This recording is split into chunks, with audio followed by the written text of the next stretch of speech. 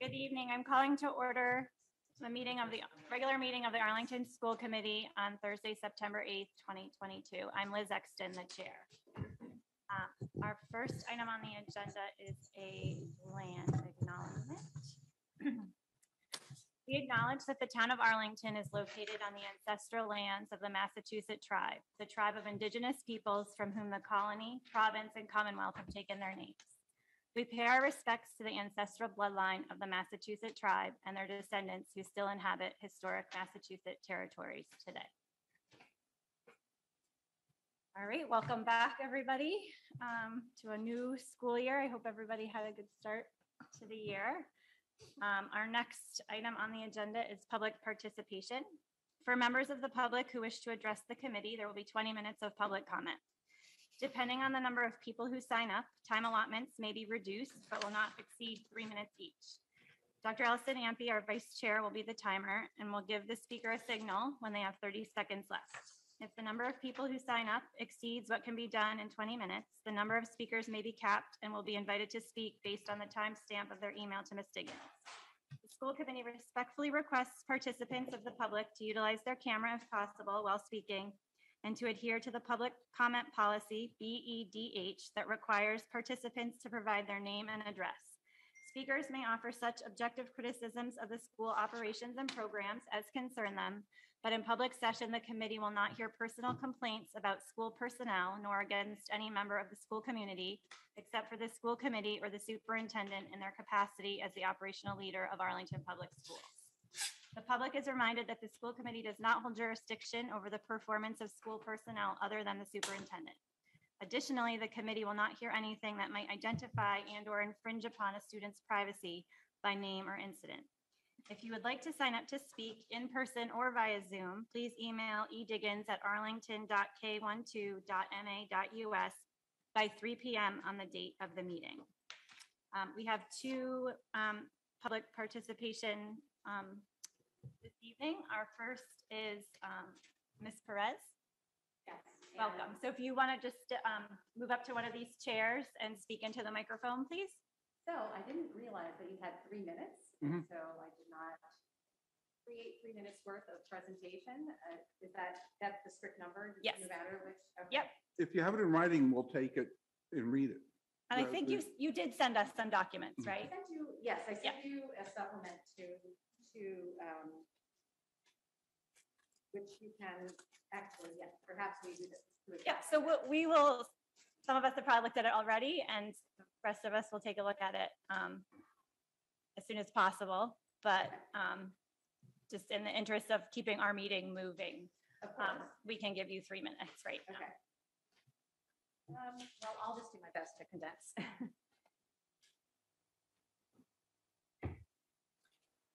And practice my speed reading.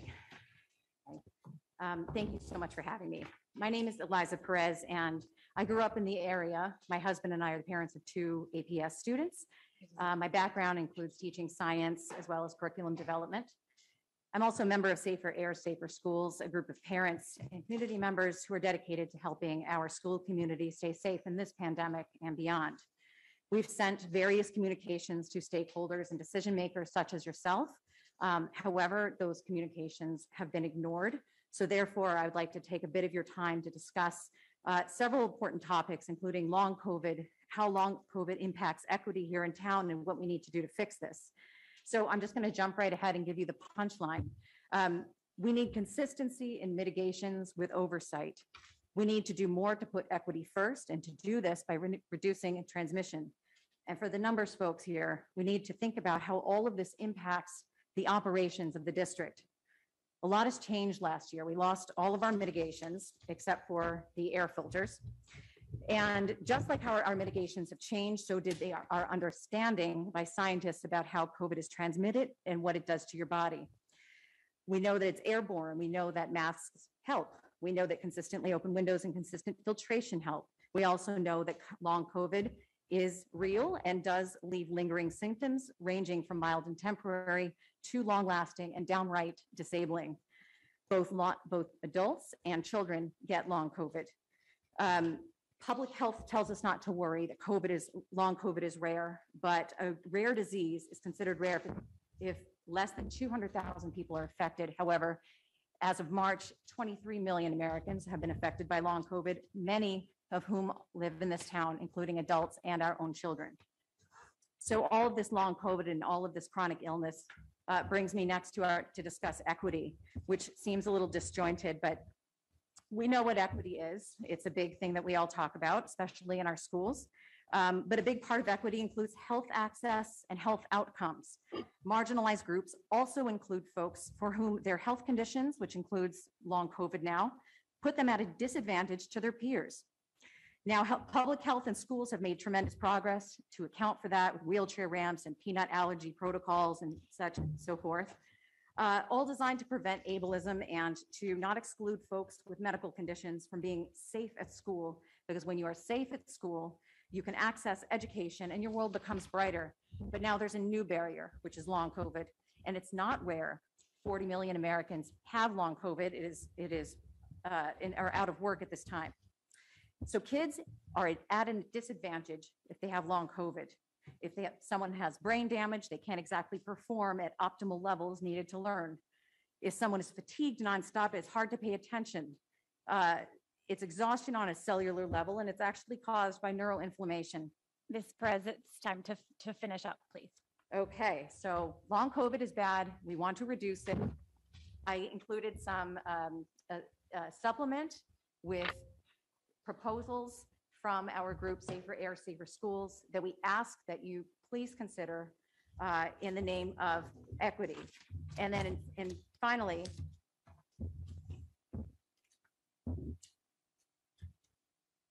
All of these tools that I gave you are avail- are available, all within grasp and attainable. We know this because it's being done in different districts across the country and the world, and we do not need the blessing of the CDC or DESE or anyone else but you to make this happen. The best time to throw what we've got at this problem was in the past. The next best time is now, is today. We cannot allow policy to be guided by special interests or politics, but rather science. In Virginia, the Federal Court of Appeals just voted to uphold the rights of students at risk for severe COVID disease to have accommodations made so they can Perez, I attend need, school I need you to finish up, please. In Arlington, we can do for marginalized groups and vulnerable families what Virginia was unwilling. We do not and will not accept the ve- preventable illness and disability of children and their families in Arlington. And children cannot individual responsibility their way through this pandemic. That is our job. We are the adults, and you are the adults with the decision-making power. So I thank you for your time and in advance for the thought and consideration that you will offer our solutions that we present to you. So thank you. Thanks. Our next speaker is um, Ms. Leary, and I believe she's on the Zoom. Um, Ms. M- Ms. Diggins, are you able to make her? Hi, I'm here. Hi, can, bef- don't start yet, because we want to, can we make her the big? The big screen, yeah. Speaker view. Speaker view, that's, But that's the better way to say it. no, that's, thank you. No, no, no. Starting.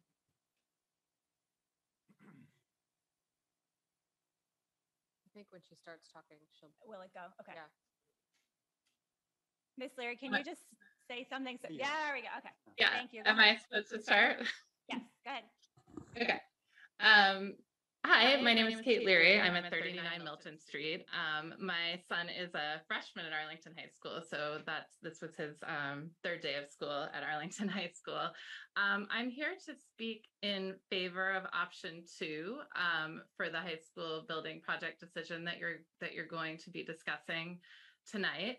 Um, I think that 11 days of half days for students is a lot. It's a lot of lost time on learning. Um, I think it would be a very rough start to the school year, particularly for freshmen. I'm I'm watching my son try to adjust right now, and it's it's everyone is you know being really friendly and helpful, but it's no joke trying to get around that building.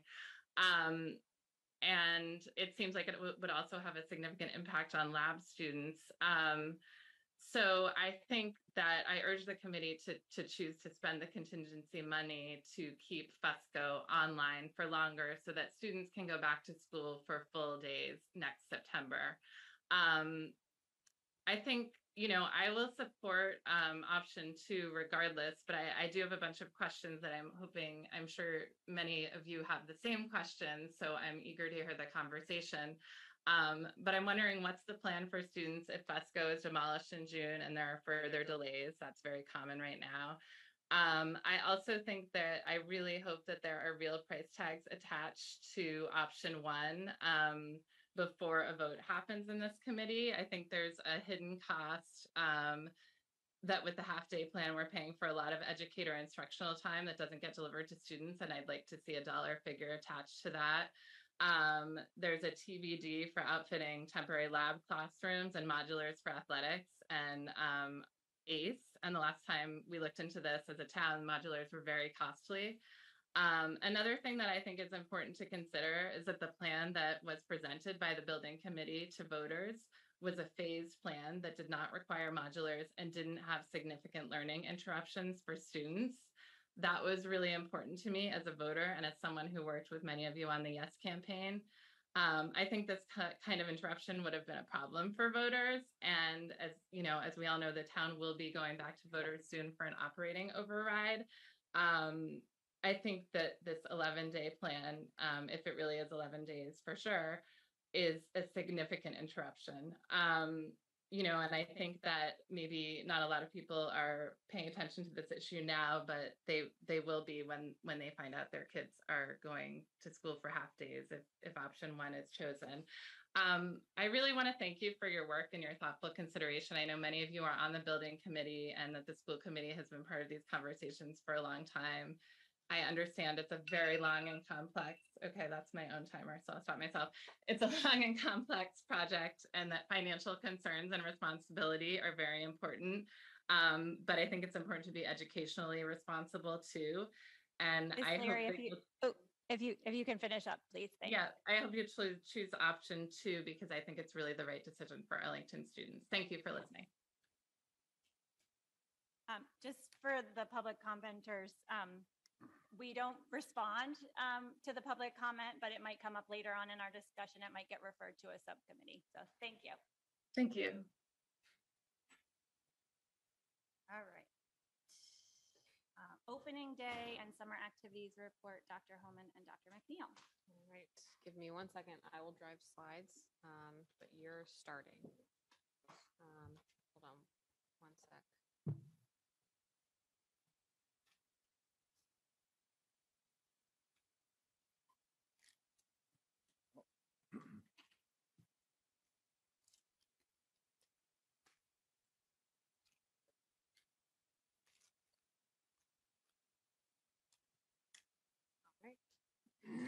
So we're pleased to bring you a report on some of the things that we have been up to this summer. This is not a comprehensive report. We will have more to say about some of the professional development that happened this summer when we do the PD report, but that doesn't happen until the very end of the school year. So we wanted to give you a little bit of information about some of the work that happened, the curriculum work that happened during the summer. Dr. McNeil will do that, and then he'll pass it off to me to do a um, report on some of our opening activities as we got the year started. It's been a great start to the year, and it has been absolutely wonderful to see students. And we're looking forward to sharing a little bit about what we've been up to over the summer. Go ahead. Thank you. Um, so first, before I begin, oh, yes. I've been out of practice.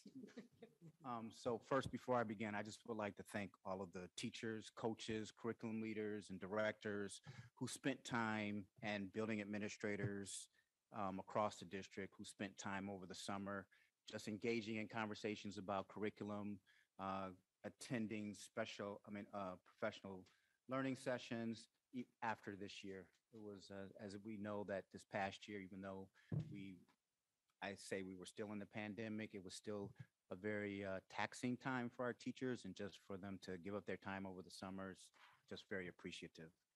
So um, as we go to our first slide, I just, some of the themes that you'll see in all the summer work that was completed uh, just uh, revolved around developing curriculum, updating curriculum, um, trying to make curriculum more inclusive of different groups of students, uh, and also attending professional development.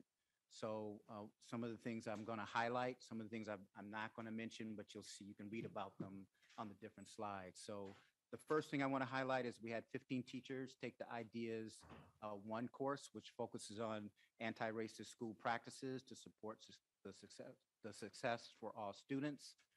So that was something that we offer throughout the year for the last three or four years. And so I'm really proud to say that I think we have over 100 teachers or staff throughout our district have taken this course.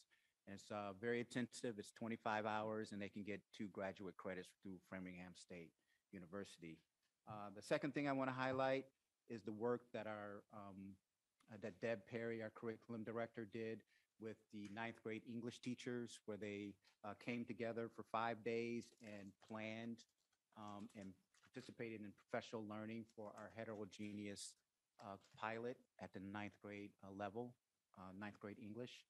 So, um, you know, that was a very successful, and I've heard nothing but good things from that. And then we will come back to report uh, on the progress of that at, at a later time at another school committee meeting. Uh, we can go to the next slide. Uh, another thing I would like to highlight is the work uh, completed by our history, social studies team. First, I would like to highlight that we have a new social studies director, uh, Caitlin Moran, who has come right in and hit the ground running. Um, she's done a fabulous job connecting with teachers, other curriculum leaders, and just learning the culture of Arlington. So uh, you will meet her. I will have her come in and you can meet her as we uh, have um, at our at our future meetings. And so some of the work we did here is like updating curriculum, again, bringing in uh, diverse perspectives, looking at uh, instructional materials. And uh, so we, um, I'm very proud of the work that we've done with our history and social studies. And I want to emphasize that we have not adopted a canned curriculum. This is all cultivating, curating different resources. And so we're, we're actually developing this curriculum uh, K through 12, uh, you know, at the district level. So I'm very proud of that work. Uh, We can go to Yep. the next slide.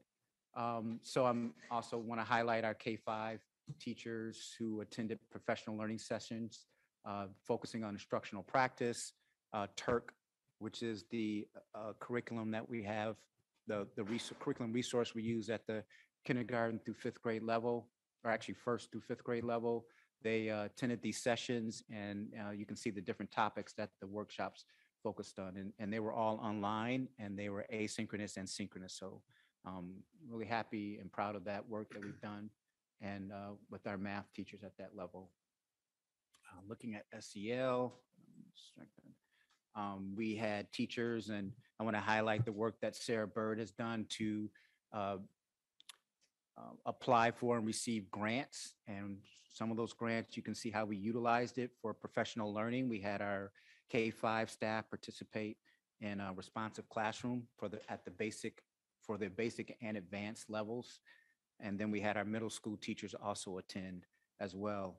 And you can also see that our K through 12 staff participated in grant-funded training um, f- to get certi, to become certified youth mental health uh, first aid instructions and then instructors. And then we had some of our current instructors uh, also participate to become recertified. So moving along. And then um, I'm going to also ask uh, Allison Elmer to also talk about this, but we had 14 special education teachers and three reading teachers attended the Orton Gillingham training. And uh, Allison can talk about the further training that's going to take place uh, with those special education teachers. Sure. So they completed the uh, training portion, and then there's a year-long practicum that is supervised by um, the Orton Gillingham provider. So they will be completing that this year so that they will have their um, it's called level one practitioner certification, I believe is the official term, but they'll, they'll be doing that this school year. Absolutely. Say it again, They'll be Laura. doing that this school year to get the s- practicum to get their certification. So they, re- they had the initial course in the summer, and then they're going to proceed and become certified by going and, and uh, going through the practicum, taking the prac- practicum throughout the year. So that is something that I'm very proud of. Yes. Is this something they'll act as lead teachers for other people to support them? No, or- uh, Orton Gillingham is a specific um, rules-based reading curriculum, so that they're getting trained to deliver that curriculum. Thank you. Right. Um, so moving along, uh, I'm going to jump to the next slide. so that, that concludes the work that we've done. And like I said, th- those are some of the things I wanted to highlight. And then you can read about the other things. And then I can, I also have a more comprehensive list um, that we have that I can also share with you, a whole spreadsheet um, that talks about all the other things that were not in the slide deck that was accomplished over the summer. So we had, uh, we did a, a- we, I, I feel like we had a, a healthy, robust, um, uh, you know, curriculum development and uh, uh, professional learning, practice, things that we wanted to uh, accomplish over the summer. And I feel like we accomplished most of what we set out to do. Uh, So moving on to the next slide, talking about our new teacher orientation. Um, We had, uh, you see there uh, during August 22nd through the 25th and the 29th, we had approximately seven new staff participate in new staff orient, uh, orientation and training. And I also want to highlight the work that Marie Janiak, our outgoing um, um, uh, mentor coordinator, who pretty much organized this, structured it. Uh, She did a fabulous job uh, handing it off to our new um, mentor coordinators at the K-5 level. We have Dory Pazu, how do you say her last? name? Paluzzi. And then we have at the secondary level, we have Melissa Heath. So they came in and uh, they worked with Maria, uh, Marie, um, excuse me, Marie to understand, you know, the, the culture around this and understand that there are different things that they would have to accomplish. And again, they hit the ground running. And so I feel like we had a successful week with our new staff. They also have new ideas of how they want to transform this um, week and continue to have it evolve to be more uh, effective and uh, productive for our new staff as we onboard them onto uh, into the uh, Arlington culture. And so I don't know if uh, Mr. Spiegel would like to say anything else about this week.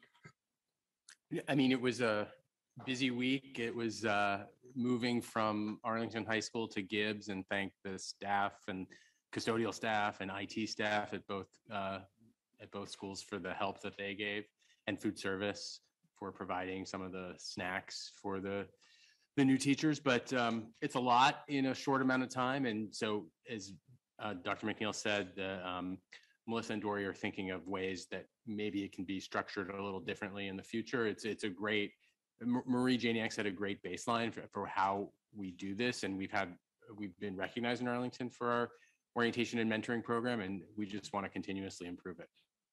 Yeah, thank you for that. And so you can click on the, I, I included the uh, link to the agenda for the week. And you can see, I know that they're overwhelmed about the amount of information that they received because it, we had our curriculum leaders present on their different content areas. We had, they also met with their mentors and we also had uh, special education and uh, uh, Ms. Thomas, our DEI director, also present. So you can see that. And um, if you have any questions, that ends my part of the presentation. Um, so I'll talk a little bit about what leadership's been up to as we launched the year. We had a successful August leadership workshop um, that was entitled Learning and Leading Together in Pursuit of Growth, Joy, and Equity for all of our students. And the objectives are there. I won't read them to you. We did a little bit of pre-reading of a book by Dr. Jill Harrison Berg, who does a lot of work on shared leadership. Um, and teacher leadership in schools. And she actually planned the whole thing with me and then called me the night before and told me she had a family emergency. And so um, we had to pivot quickly. And uh, Margaret was a great help. And um, we facilitated a fantastic three days of leadership workshop um, time together. We had a lot more participants this year than we've had in past years. There were over 115 people at this, um, which is over 10% of our organization. And we really wanted to make sure that we had our teacher leaders at the table. And it was absolutely wonderful having them there, helping us plan how we were going to lead into the school year. Um, I do want to make sure we acknowledge the Arlington Education Foundation because they supported um, a- in a somewhat last minute ask. They were extremely supportive of uh, providing some teacher leadership stipends to support the expanded participation in leadership workshop this year um, and to support the instructional leadership teamwork that we're going to be doing at the schools during the year. So that was very much appreciated. Uh, opening day themes um, were that we were really sort of uh, focused on establishing sense of belonging for adult learners in APS. That was what I focused my opening remarks on, um, taking a look at a little bit of data that shows that we could work on this aspect of our diversity, belonging, equity, and inclusion work. And uh, we really wanted to think about how we were setting the stage for individual and collective um, district and school actions for the 2023-24 school year. Um, Some of those actions that we've been thinking about, they're not listed there, but the ones that I talked to the team about, actually, they're listed here, uh, were making sure that we establish and practice school-based shared instructional leadership on our instructional leadership teams, um, ensuring that we're establishing opportunities for all of our educators to engage in sustained choice-based professional learning. Dr. McNeil will have updates on what that's going to look like later, but he's been collecting proposals and putting together a menu of courses that teachers will be able to select what they want to learn about, uh, tied to the district's themes and the actions that we're taking. So we're really looking forward to trying that out and seeing how it goes. We'll be continuing our instructional rounds by administrative teams this year and really practicing having sustained engagement and conversations with our community about the equity work that we're doing in the system. That will start this fall with conversations um, with the community with uh, that myself and Ms. Thomas will facilitate, focus on the strategic planning work that we're doing and asking for community input and engagement with our new district vision and mission statements and our four priorities. So we're really looking forward to launching that. And I believe that that's my last slide. All right, so we'll take any questions that anybody has about the launch of the year.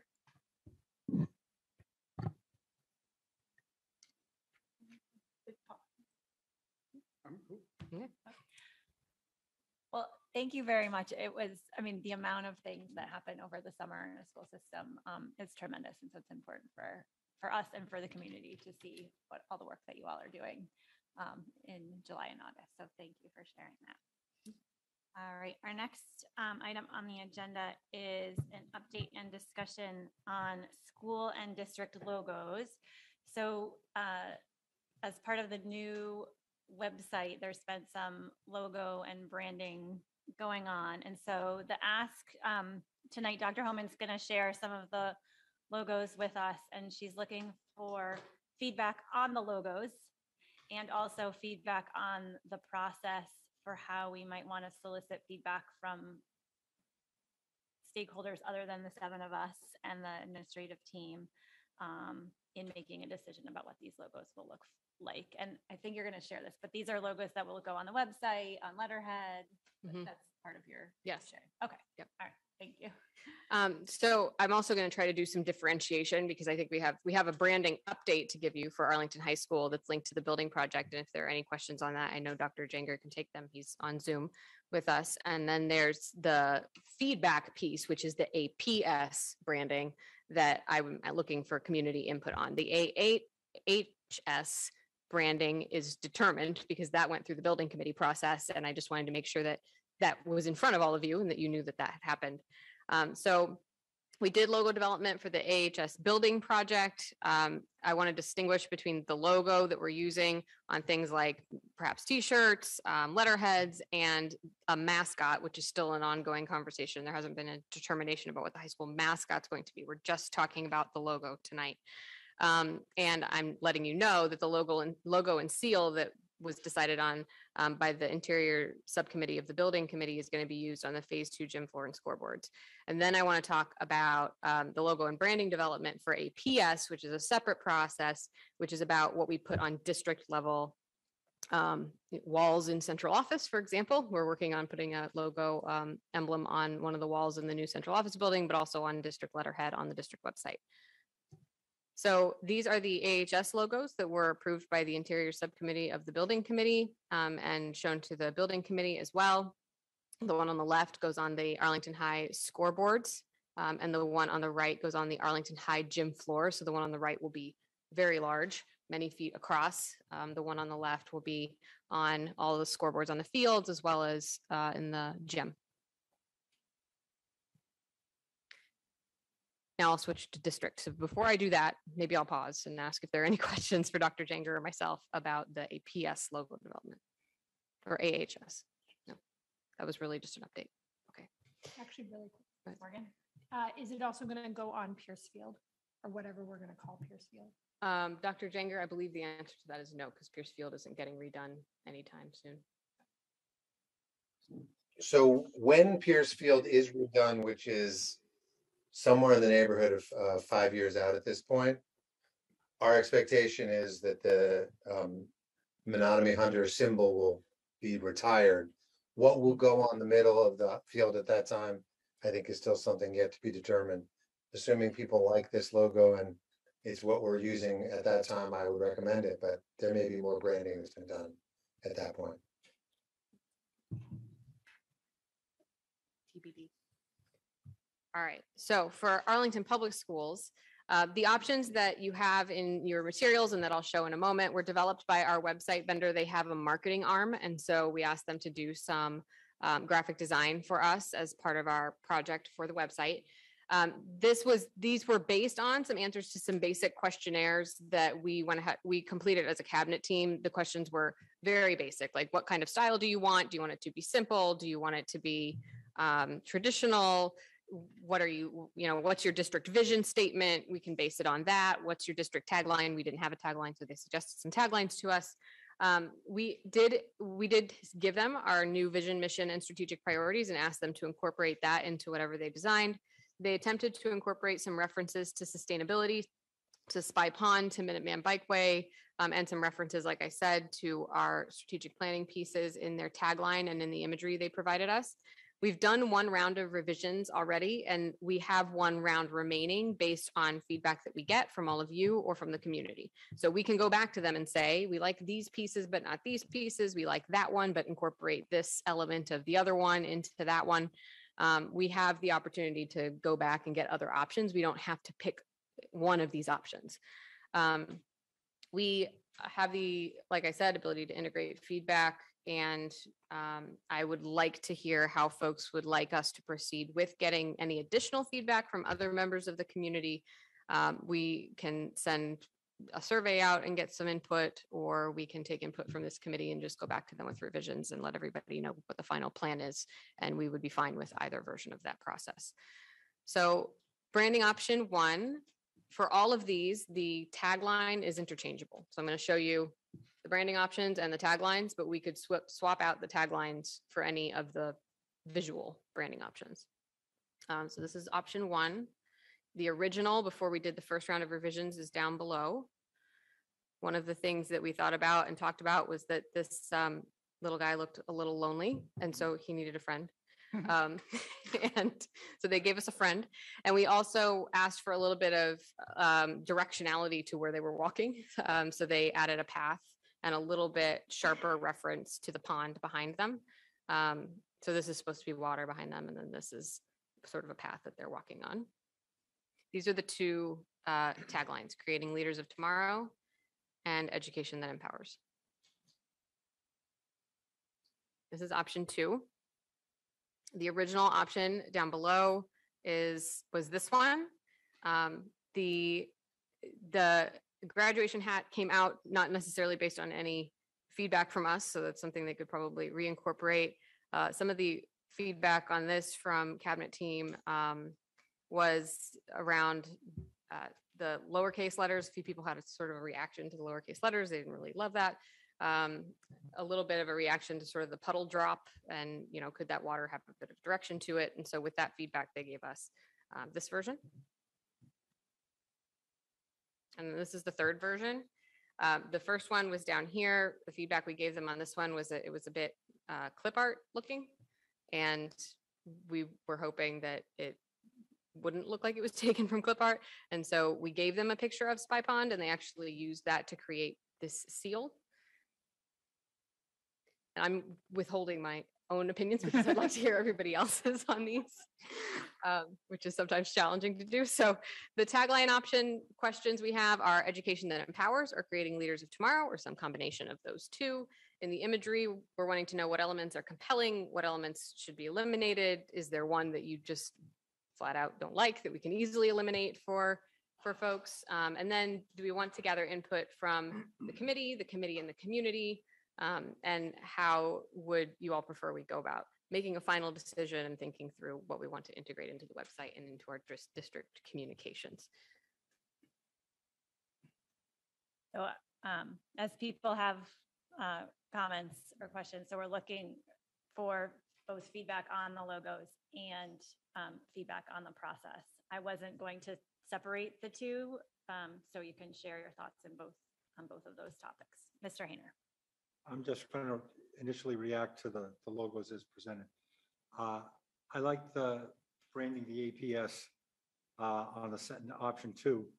Uh, But I also like the, the two people walking. So I guess my feeling is bring the people down, the number two. And creating leaders of tomorrow, I think that belong, in my mind, with the logo piece, not under the title of Arlington Public Schools. I don't know how it would be incorporated, but Oh, I, the over with the logo as Yeah, opposed to under yes. the, okay. thank you. Uh, I, I have no feeling whatsoever for number three. I'll say it. Get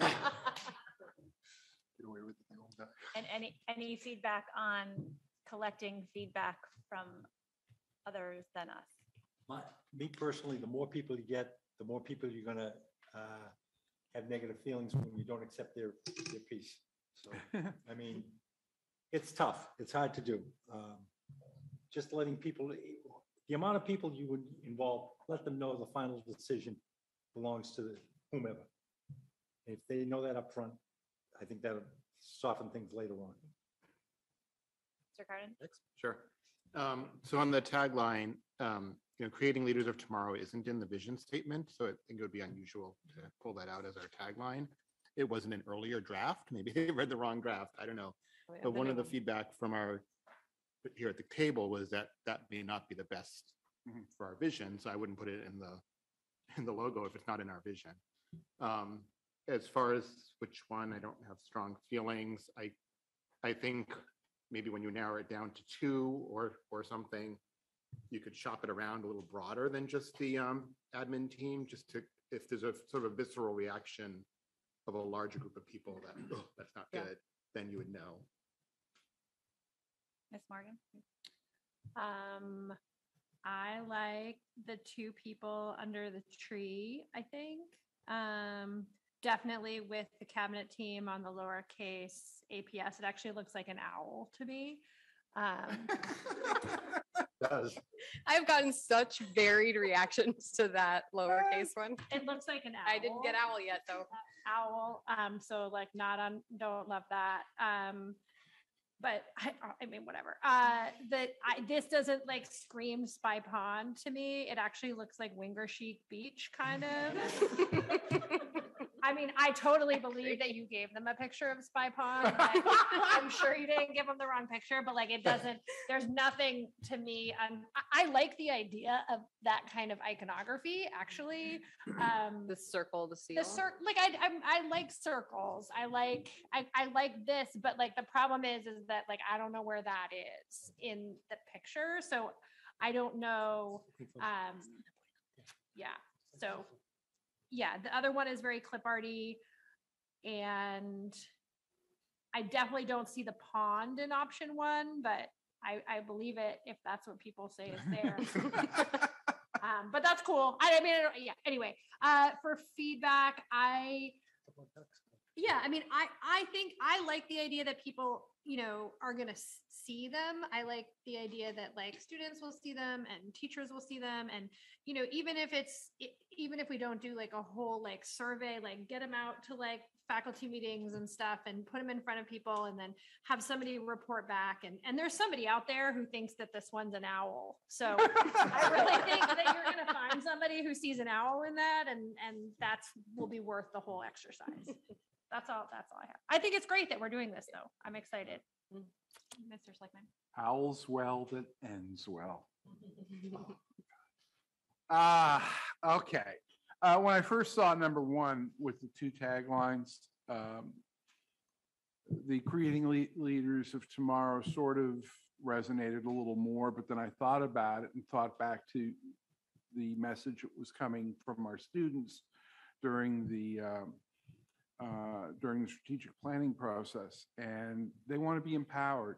Uh, They, they want us to help them go where they want to go. So uh, the more I think about it, it's more like education and empowers, which really does draw from the uh, uh, strategic plan. It- I, I, I agree that the one person was kind of lonely and the second one is, I wish there was some way to get a waterfowl in there, you know, Duck, a duck. one duck. You know, a duck, uh, you know, Spy Pond is filled with geese. Um, that would certainly send a message that it's a pond. Two leaves me cold. I'd rather have the owl than the, the little wavy APS thing. It just leaves me cold. And three is really very gray. It looks like a puddle. Um, and I, I can't imagine that being a logo. Uh, so bring, bring me to the two people, the tree, maybe a duck. You put a little duck over the schools on the other side. You know, I don't know, but that, that would give, that would give it the feel of, of, I, I like the waterfowl aspect. Uh, but, uh, nobody else seems to, so. I'm not- I'm not gonna Sounds fight. like the pond might be a little lost. Yeah.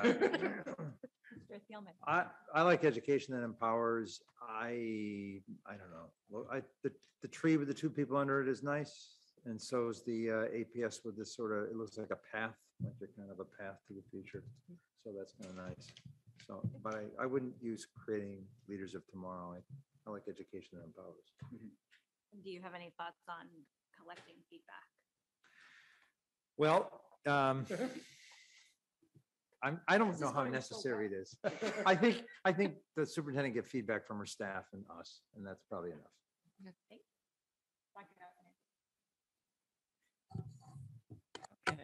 Um, I don't love any of them. Um, I'm sorry, I'm just gonna be, no. Uh, the, okay, so the pond one, the last one is just crazy. You can't, have no idea what you're looking at. Um, the circle idea is nice. I'm trying to decide if I would like this, the tree one with more, you know, if it was like in a circle like the town seal is. Uh, I don't, it means that it won't match, you know, go together with the Arlington Public Schools and stuff as well. But the specific tree that's drawn is just kind of weird. Um, and the pond, that, the illusion that there's a pond back there also is kind of weird because it, it's going in a hill, which ponds can't do.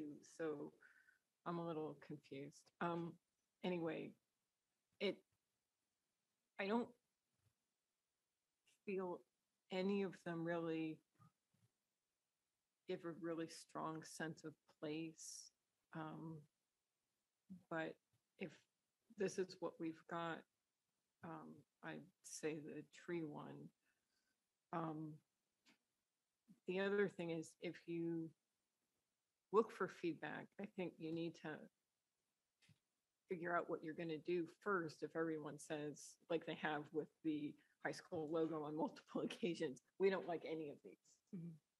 Um and so you know depending on how you solicit feedback either you need to be willing to go back to the drawing board or uh, know that you may be putting a logo out there that your feedback says we don't like it or, or whatever. So, um, I don't, the second one doesn't, it, it just feels very generic. Um, So. so. Oh, and I like the empowering leaders of tomorrow. I mean, empowering whatever the Education that empowering, yeah, empowers. education empowers that, that, I like that. Um, I think that's all. So I, I like one and two. I personally prefer the first one um, with the tree. I'm intrigued by your suggestion The circle. um, about the circle. I, I think that that could, could work. Mhm. Um, I like education that empowers. Um, and, and I, I think some kind of feedback from teachers and students. Um, you know, as we've talked about, um, sort of the creating the vision, vision and mission statements and getting feedback from students and talking about this sense of belonging i- is sort of something that that you presented to the to the, to the school community on opening day. Um, I think giving the, con- the the students and teachers a voice um, around some of that would, would help to some of that sense of belonging. Great. That would be my I have to ask Yeah. Julie and Julie. Yeah, I'm ready. So my first question is, did we pay somebody for this? Because we have this amazing department of all these art students who I think would love to do a competition to design the new logo. It was included in our It was- process for the okay. website. Because it makes me sad that this isn't like student submitted, because I think that we could get some really interesting stuff. Um, I love education that empowers. I think the other tagline implies that you don't have value if you're not a leader, and I don't like that. Um, there's a lot of people in the world who make really important contributions but wouldn't get be called leader. Um, the third one, take it from somebody who has a circle logo that I have to work with. You can't shrink it down. Mhm. So like if you leave and just look at like that's if you tried to take that circle and shrink it up into the corner of like a, a background, you lose the words. You can't read them. So as in terms of something that's like flexible to adapt to different things, circles are hard. Um, the other two are fine.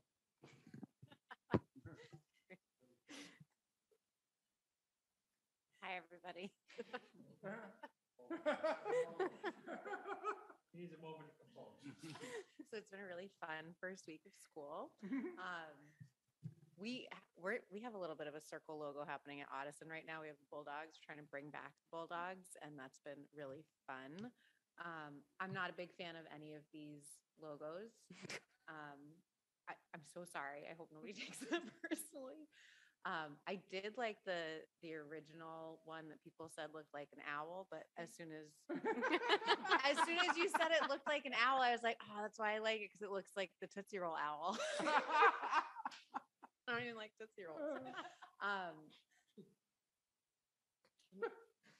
I it's gonna be a great year. so, but I'm not sure. Like, are are there any other options? Is this like, do we go back to the drawing board, or is it these are the options and let's pick?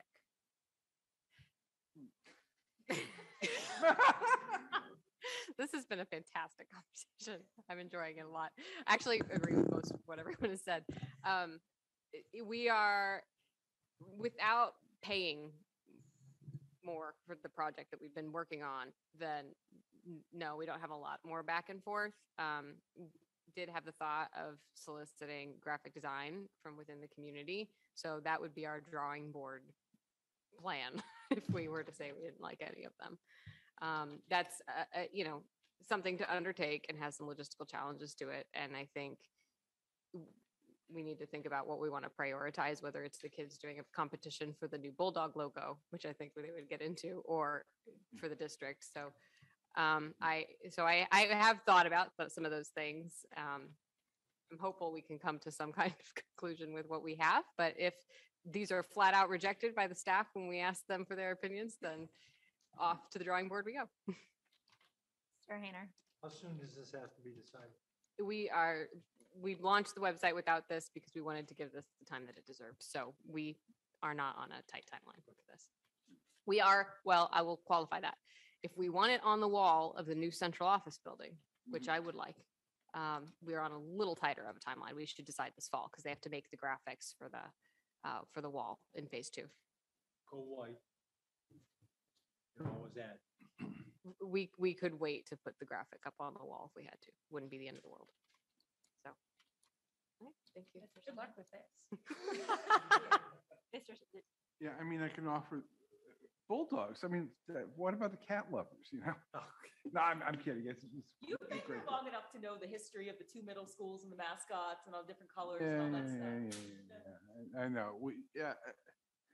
I, I- I'd offer my cat up as a, as a volunteer for the logo. She's well loved. all right. But, uh, no, I, I- yeah, I mean, I, I, I really think that if we're talking about a pond, we should have a duck. Yeah, totally. I wrote the Okay. duck down. Got it. Okay. All right, moving on from this enjoyable discussion. It's fun.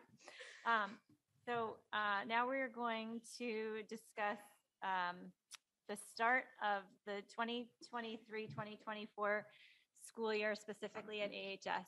Um, So this is for, for people who are watching. um, There, and Dr. Homan will explain this a little bit in a lot more detail, but I just want so um, there are three weeks at the beginning of September 2023 um, where the phase two will not be finished, where students should be, would be moving into their classrooms.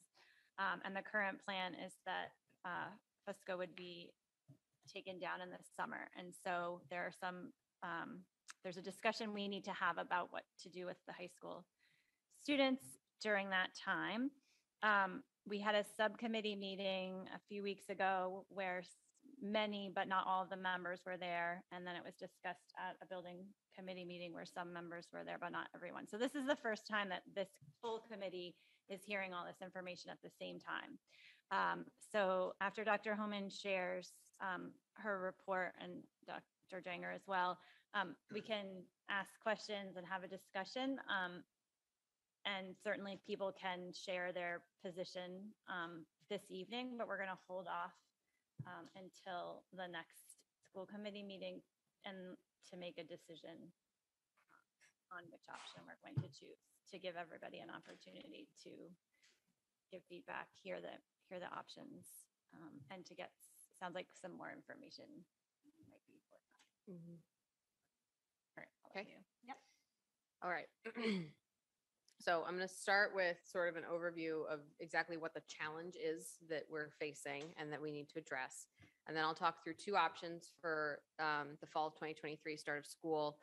Walk through for each of the two options, what the impact is on both phase two and phase three move in and what the implications are for space schedule and finances um, at, at the time of both phases.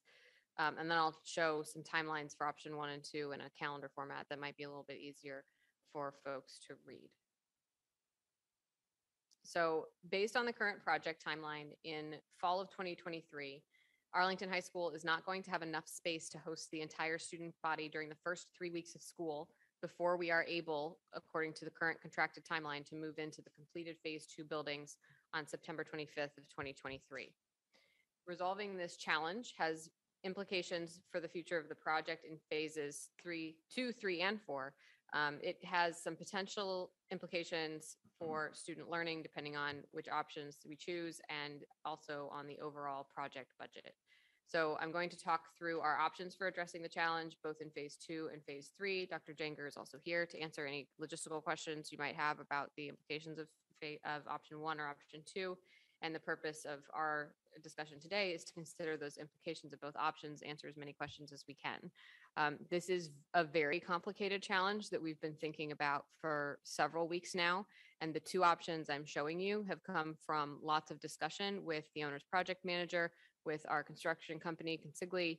Um, it is based in options they have given us and cost outs they have given us on what it might cost to do either one of these options. Um, and it's not, it, it is not feasible to move the pace of the project up. That is not a possibility. Um, it's not possible for us to put students at another site in town and run the high school schedule the way the high school schedule is designed and the way that would provide the most supportive start to our high school students. We don't have another building in town that can house 1,500 kids, and we can't split the kids into two groups across other buildings. And we will have school going on in all of our other school buildings, which means we can't accommodate kids in the other school buildings. So I just wanted that to be stated before we dive into the options. So here's a quick overview of our contracted construction timeline. The phase two transition um, includes uh, AHS phase two uh, being completed by the 19th of September of 2023. So that's the humanities wing and the central spine. So that would be available to us after the first few weeks of school, about 11 days in to move into, and then we would be able to start classes after the move. Fusco House and Blue Gym demolition begins before that in summer of 2023. So there are about three months there where the Fusco is offline and not available to us. And that's why there's not enough space to hold the entire high school student body from the time school starts to the 25th of September of 2023. Notably, the central office um, offices are also located in Fusco House, so that group of people would be need to be relocated uh, during the summer of that year, as well as for the first three weeks of school of 2023. Phase three transition, as currently contracted, uh, includes Arlington High School Phase three, which includes athletics offices, lab uh, program, which is our um, special education collaborative program that's housed in Arlington High School, the administrative offices for the high school, and Arlington Community Education being completed in September of 2024. The Downs House demolition is currently slated to begin three months before that in summer of 2024. So again, those um, programs, athletics, lab, um, this uh, high school administration and ACE would be, need to be relocated for those three months. There wouldn't be enough space to host all of those programs and offices between June and September of 2024, and we'd have to find an alternative solution for housing those programs. So we have two options. I'm going to walk through option one first, which is to follow the contracted construction timeline with the challenges that I just described. So in terms of space, what this would mean is that demolition of Fusco would start in June of 2023, and we would have to use the current new building, the steam wing that has been constructed, phase one, and downs, and we'd have to build the connector in between the new wing and downs because there's, um, Fusco is the connection between that area and down. So we would have to build a connector between those two buildings that would facilitate half-day classes for the first 11 days of the school year. The implications of that um, are that we would need additional classroom spaces in order to accommodate the full schedule. So we would need to build those classroom spaces. We would need to build the connector, connector in terms of space, and we would only be able to accommodate half the student body at a time. So that means in terms of the schedule that we're creating a half-day schedule for students for the first 11 days. Students would attend three classes a day and lunch morning and having lunch and then a shift coming in for lunch and then having classes in the afternoon. Because of how the schedule works and because some classes are mixed, so we would try to prioritize ninth and 10th grade classes. For example, this isn't hard and fast yet, but we would accommodate maybe ninth and 10th in the morning and 11th and 12th in the afternoon. Um, but some students have classes that mix grade levels. So there would be students who would have to stay and maybe have a gap in between their classes in order to attend their afternoon classes because it's a mixed class um, with upperclassmen, for example. Um, and we would also have students who would need to stay for the whole day, even if they didn't have afternoon classes due to transportation, for example, some of our Boston resident students. There would be approximately 30 fewer hours time on learning in 2023 24 um, and a disrupted student schedule for the first three weeks. We would probably, we, we would seek to eliminate some of that loss of learning time by absorbing some early release professional development time, which would mean loss of that professional development time. Um, and we would, in both of these options, need to accommodate the move, which we have some options for, but in this case, um, would probably need to cancel school and make up some days if we were to choose option one, uh, because I'm not sure if we could accommodate the half-day schedule for the teachers um, and also accommodate some elements of the move. But we would have to work out the details of that if we were to choose option one. This will cost at least $125,000, but as we have worked on this proposal, we've identified a lot of additional costs that are associated with this proposal that aren't reflected in that 125. That 125 is what our owner's project manager has told us it's going to cost in order to build the connector. If we also build additional classrooms, that is cost on top of this. The cost of running our buildings, but only at half capacity is an additional cost to this. The cost of those 30 fewer hours time on learning that's the you know we spend money on our time that we spend with kids and so there's a cost to that as well. And so this is definitely a minimum spend um, and there are costs in phase three which i will walk through next. So if we do option one um, this impacts not only phase two move in but also the phase three move in so we would need to do a demolition of downs um, in june of 2024 which means that downs house wouldn't be available for um, for lab program, which means we would need to use the space that's currently slated for Menotomy Pre-K to host the lab program, which would delay the move-in of Menotomy Pre-K to their new space for about a year. They wouldn't be able to move in when phase two is finished because we would need that space in the summer of 2024 in order to house the lab program. Um, we would also not have a solution in this scenario for the lab program for the first three weeks of school in 2024, and we would need to relocate them. pos- Well, they they may stay in the Menotomy space if we did this option, um, but they also may need to be relocated again if we were to use this option, depending upon how the Menotomy pre-K space was being used. So we have a delayed move in for Menotomy. We'd have two moves at least for lab. We would have uh, swing space required for athletics and ACE, um, just in terms of space for option, for phase three, option one. There's no impact on the student schedule um, for this one, with the exception of PE classes, which would probably need to be held outside. Uh, we would have um, some implications for like locker rooms that wouldn't be available. We wouldn't necessarily have access to all of our athletic spaces in this scenario. Um, and the administrative spaces wouldn't be available until late September 2024, but those are offices and that's probably something we could work out. We would need to possibly rent modulars for athletics. Uh, we would need to find a new location for Arlington Community Education, which may include a rental. Um, and the cost of some of those things is to be determined, as well as um, temporarily outfitting any of the Menotomy classrooms to be lab classrooms. So that was option one. At the building meeting, I took questions on each option after. Should I just go through? Um, I Feel like ev- everybody's heard Okay. these. Why don't you go through? the All right, whole I'll thing? keep going. So for fa- for option two, phase two transition, um, this would essentially shift the construction timeline on the project. So if we used option two, we would keep Fusco online for the first three weeks of the school year in 2023, 24, and not begin demolition until after the move um, into phase two. So we would have Fusco open for the first three weeks of the school year, run a regular schedule and accommodate the full student body, and then move into phase two with either an adjusted schedule for our high school students um, using some half days to do the move like we did when we moved into phase one, uh, or with a few full school days of move and then make up those days in later parts of the schedule. So we would have full school days to start the school year in this scenario. We would maintain time on learning, maintain early release times later on in the year for teacher professional development. Um, this would shift the project timeline back and the cost of that shift back in the project timeline because it requires us to keep all of our um, staff from our construction company and our owner's project management group online and also our architects because they have to continue to be paid and they're still on the project. It costs us, um, the building project, $1.2 million at least. In phase three, this would also keep Downs House online for the first three months of the school year in 24, 25, and demolition of Downs would begin in January of 2025. This would allow, if we can uh, adjust a timeline on a playground project, this would allow Menotomy Pre-K to move in sooner.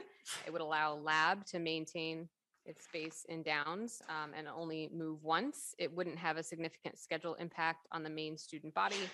Um, we would still have uh, gymnasiums, locker rooms, lab program, and some administrative space available, but not until January of 2025. So that means that the opening of phase three gets shifted back three months as opposed to the opening of phase three happening in September of 2024. It would have to happen in January of 2025. And that's because the demolition delay on Fusco then delays also the demolition of Downs. Um, and then the financial impacts of this is the same as the previous slide. The whole uh, shift of the project schedule uh, has that cost of $1.2 million to the project.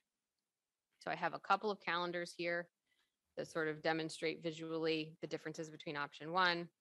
In option one, we start Fusco demolition as slate as currently scheduled in June of 2023. We have a three-week half-day schedule um, and a regular start of the school year in September of 2023 and September of 2024.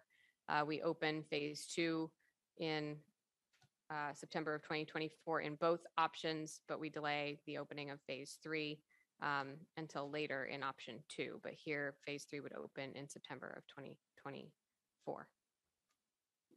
And then in option two, all of that gets pushed back. And you can see that the completion of the project gets pushed back about five months um, in option two. And that is because of the timing of work on the fields and some of the implications of the seasons of doing outside work on the fields. Um, there's about a three month delay to the demolition schedule in option two. And then there's another couple months uh, delay because of the field work that's happening outdoors um, over the course of winter. They can't do some of that work. So the completion of the project would be um, September, October of 2025 in option two. And you can see that this moves some of those timelines to the start of school or the s- start of demolition back. So I'm happy to answer any questions. Dr. Jenger is also on and he can answer any questions as well. Uh, Mr. Thielman?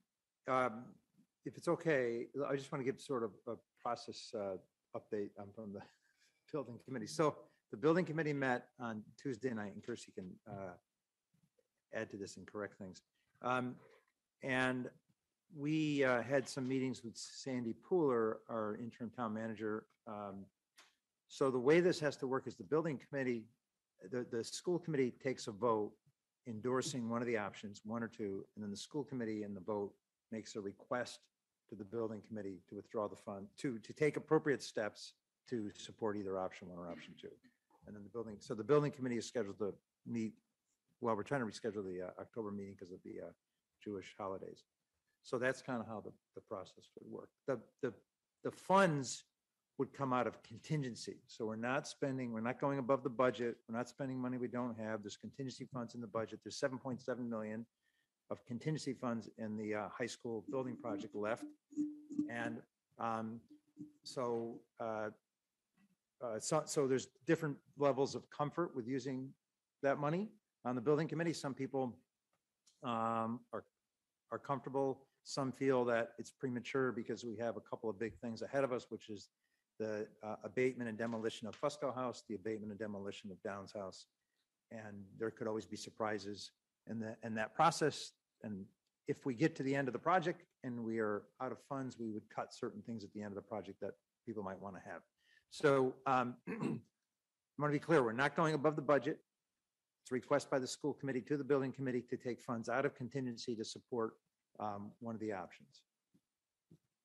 So that's it. And uh, Ms. Exton, Dr. Allison Ampe, Ms. Morgan, we're all on the call and can, can listen to the meeting. And Chrissy participated. Mr. Hayner? I don't mean to oversimplify it, but in the first part that you said, you're looking for 11 days, right? Yes. Any thought of starting the high, this program 11 days later? I'm talking heresy, but taking February and April vacation. That would be, that would be an option available to us if we were to not open school at the start of school at the high school. Um, I'm not sure that that would be a popular option, and I think that one of the challenges associated with that is that it would require a separate school calendar. I, I understand, I'm just, but the, the major part is looking for 11 days, am I correct? And the, the- if you fight, if you had, a if you did not have the deadline of June 30th as a school year and had the option to start a later time, would that solve the problem? Or is it- is As- it more complex? I would say it's complex insofar as the, um, that, you know, running a school when we are currently, sl- when we're slated not to be running a school has additional costs to it as well. So we have to have the custodians on staff and we I have to have, a- so, and, and there's more efficiency realized when all of our schools are in session at the same time. Oh. So, yeah, could it solve the time challenge? Sure, not without additional cost in addition to what My we've already second costed out. question is, the 1.2 million in the second option that you talked about, does that include the additional time of four or five months with the contractor and stuff of that nature? Yeah. Okay, Yeah. thank you. I'd also like to note that some of the implications of other things that you were s- suggesting would have also have bargaining implications. We would need to bargain that with our units who would need to be working during that time. Thank, I, I didn't think it was that simple. Thank you. Mr. Schlichtman? Yeah, uh, killing the two vacations only buys you eight days because you legally cannot operate on the two holidays on those weeks. Um,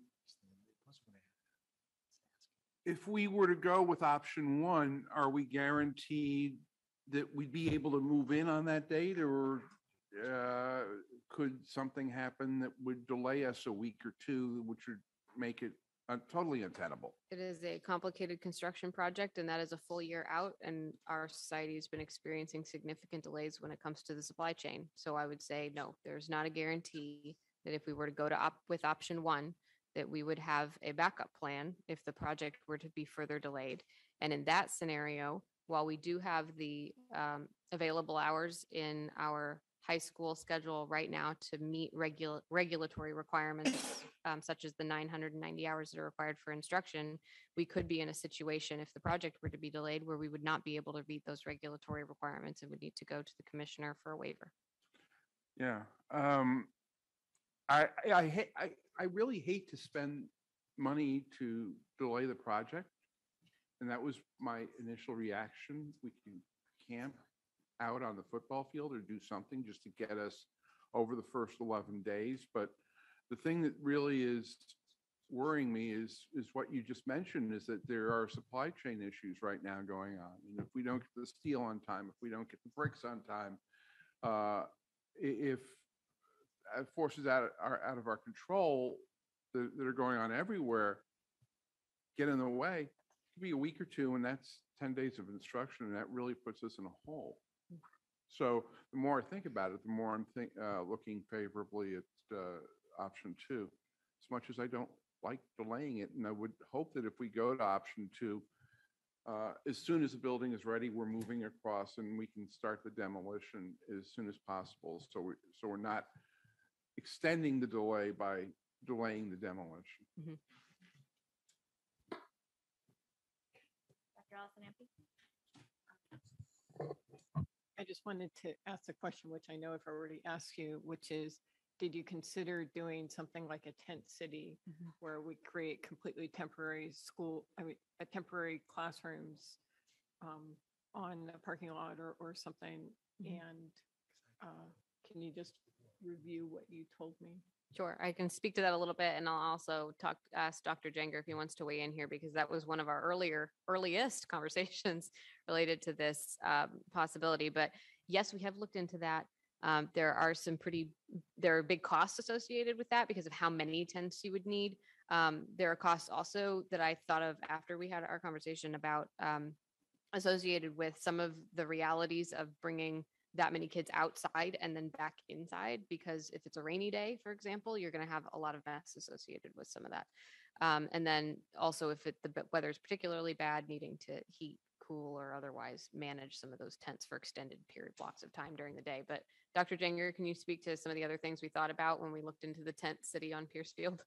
The tent city was one of my favorites, so I'm glad someone thought. Um, so, so the bottom line is to replace Fusco House, we need twenty-five classrooms. And in looking at all of the places that we could get classrooms, we could get twelve if we use the auditorium, the red gym, the areas of the field that we would be able to use. Um, because if we were to put tents on the field, we would damage the fields, and so it would be prohibitive to put dance floors across the whole space, wire, electronic, and everything like that. So we were only able to get up to about thirteen um, additional spaces, um, which isn't enough to allow us to keep running a full schedule. And then, as Dr. Homan pointed out, that the logistics of that would have kids all the way out on Pierce Field, coming around into Downs House, and then running through the tunnel that was going to go up through Downs House um, to the other side. So there just wasn't enough to be able to do that. I, well, since I've got the microphone, I do want to just say one thing for parents who are concerned. Like, there, there's a plus and a minus.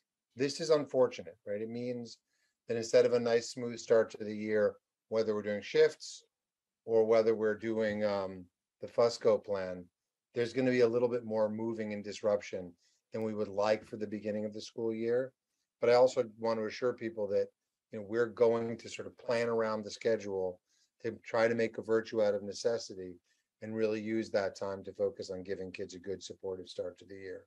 So um, we're really interested to hear what folks think is the priority there, but we will make it work for the kids either way, just as we've been doing all year long. Thank you. Yeah. Um, So I, so I understand that the one point two million for option two is coming out of the contingency fund from the building committee. What, um, I'm concerned about, it. you know, it says hundred and twenty-five thousand there, but then for option one, but, you know, that's just this connector. So the funds for additional space or dividers or what, all the other things that would need to be involved in option one, is that funding also coming from the building committee? Is that something that we would? Yes. So one of the things that I think we need, that I know we need to go back to the building committee with um, at our next meeting is a little bit more detail and come back to all of you with at the next meeting in two weeks is a little bit more detail about what some of those things that we weren't able to cost out before we had this conversation would actually be.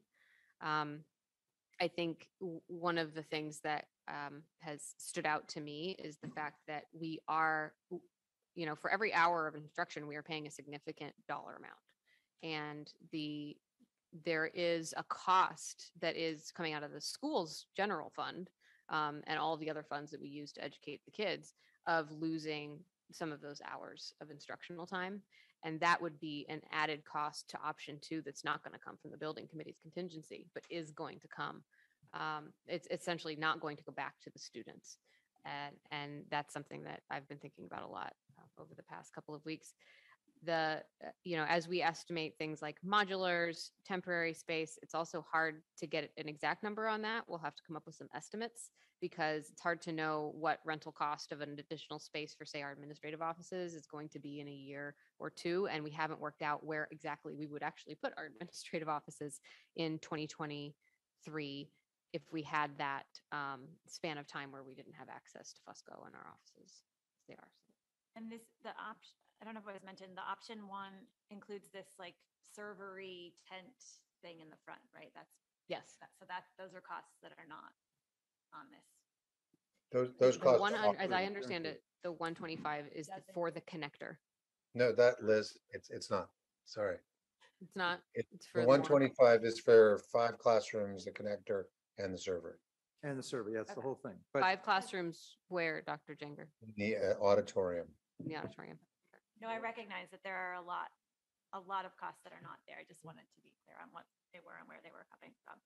Um, So something else that I've been thinking about, and we've talked about this, but um, with Menotomy is um, if Menotomy gets in option two moves sooner than um, than was on the schedule or when the schedule is, um, will they have a playground or out- outside space or We wouldn't move them without a outside space. Okay. A play space for them.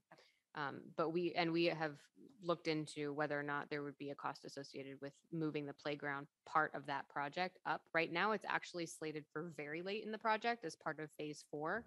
Um, some of that seemed to be because there was a feeling that we might need to use the Menotomy space for the lab program for a temporary period of time while Downs was being demolished.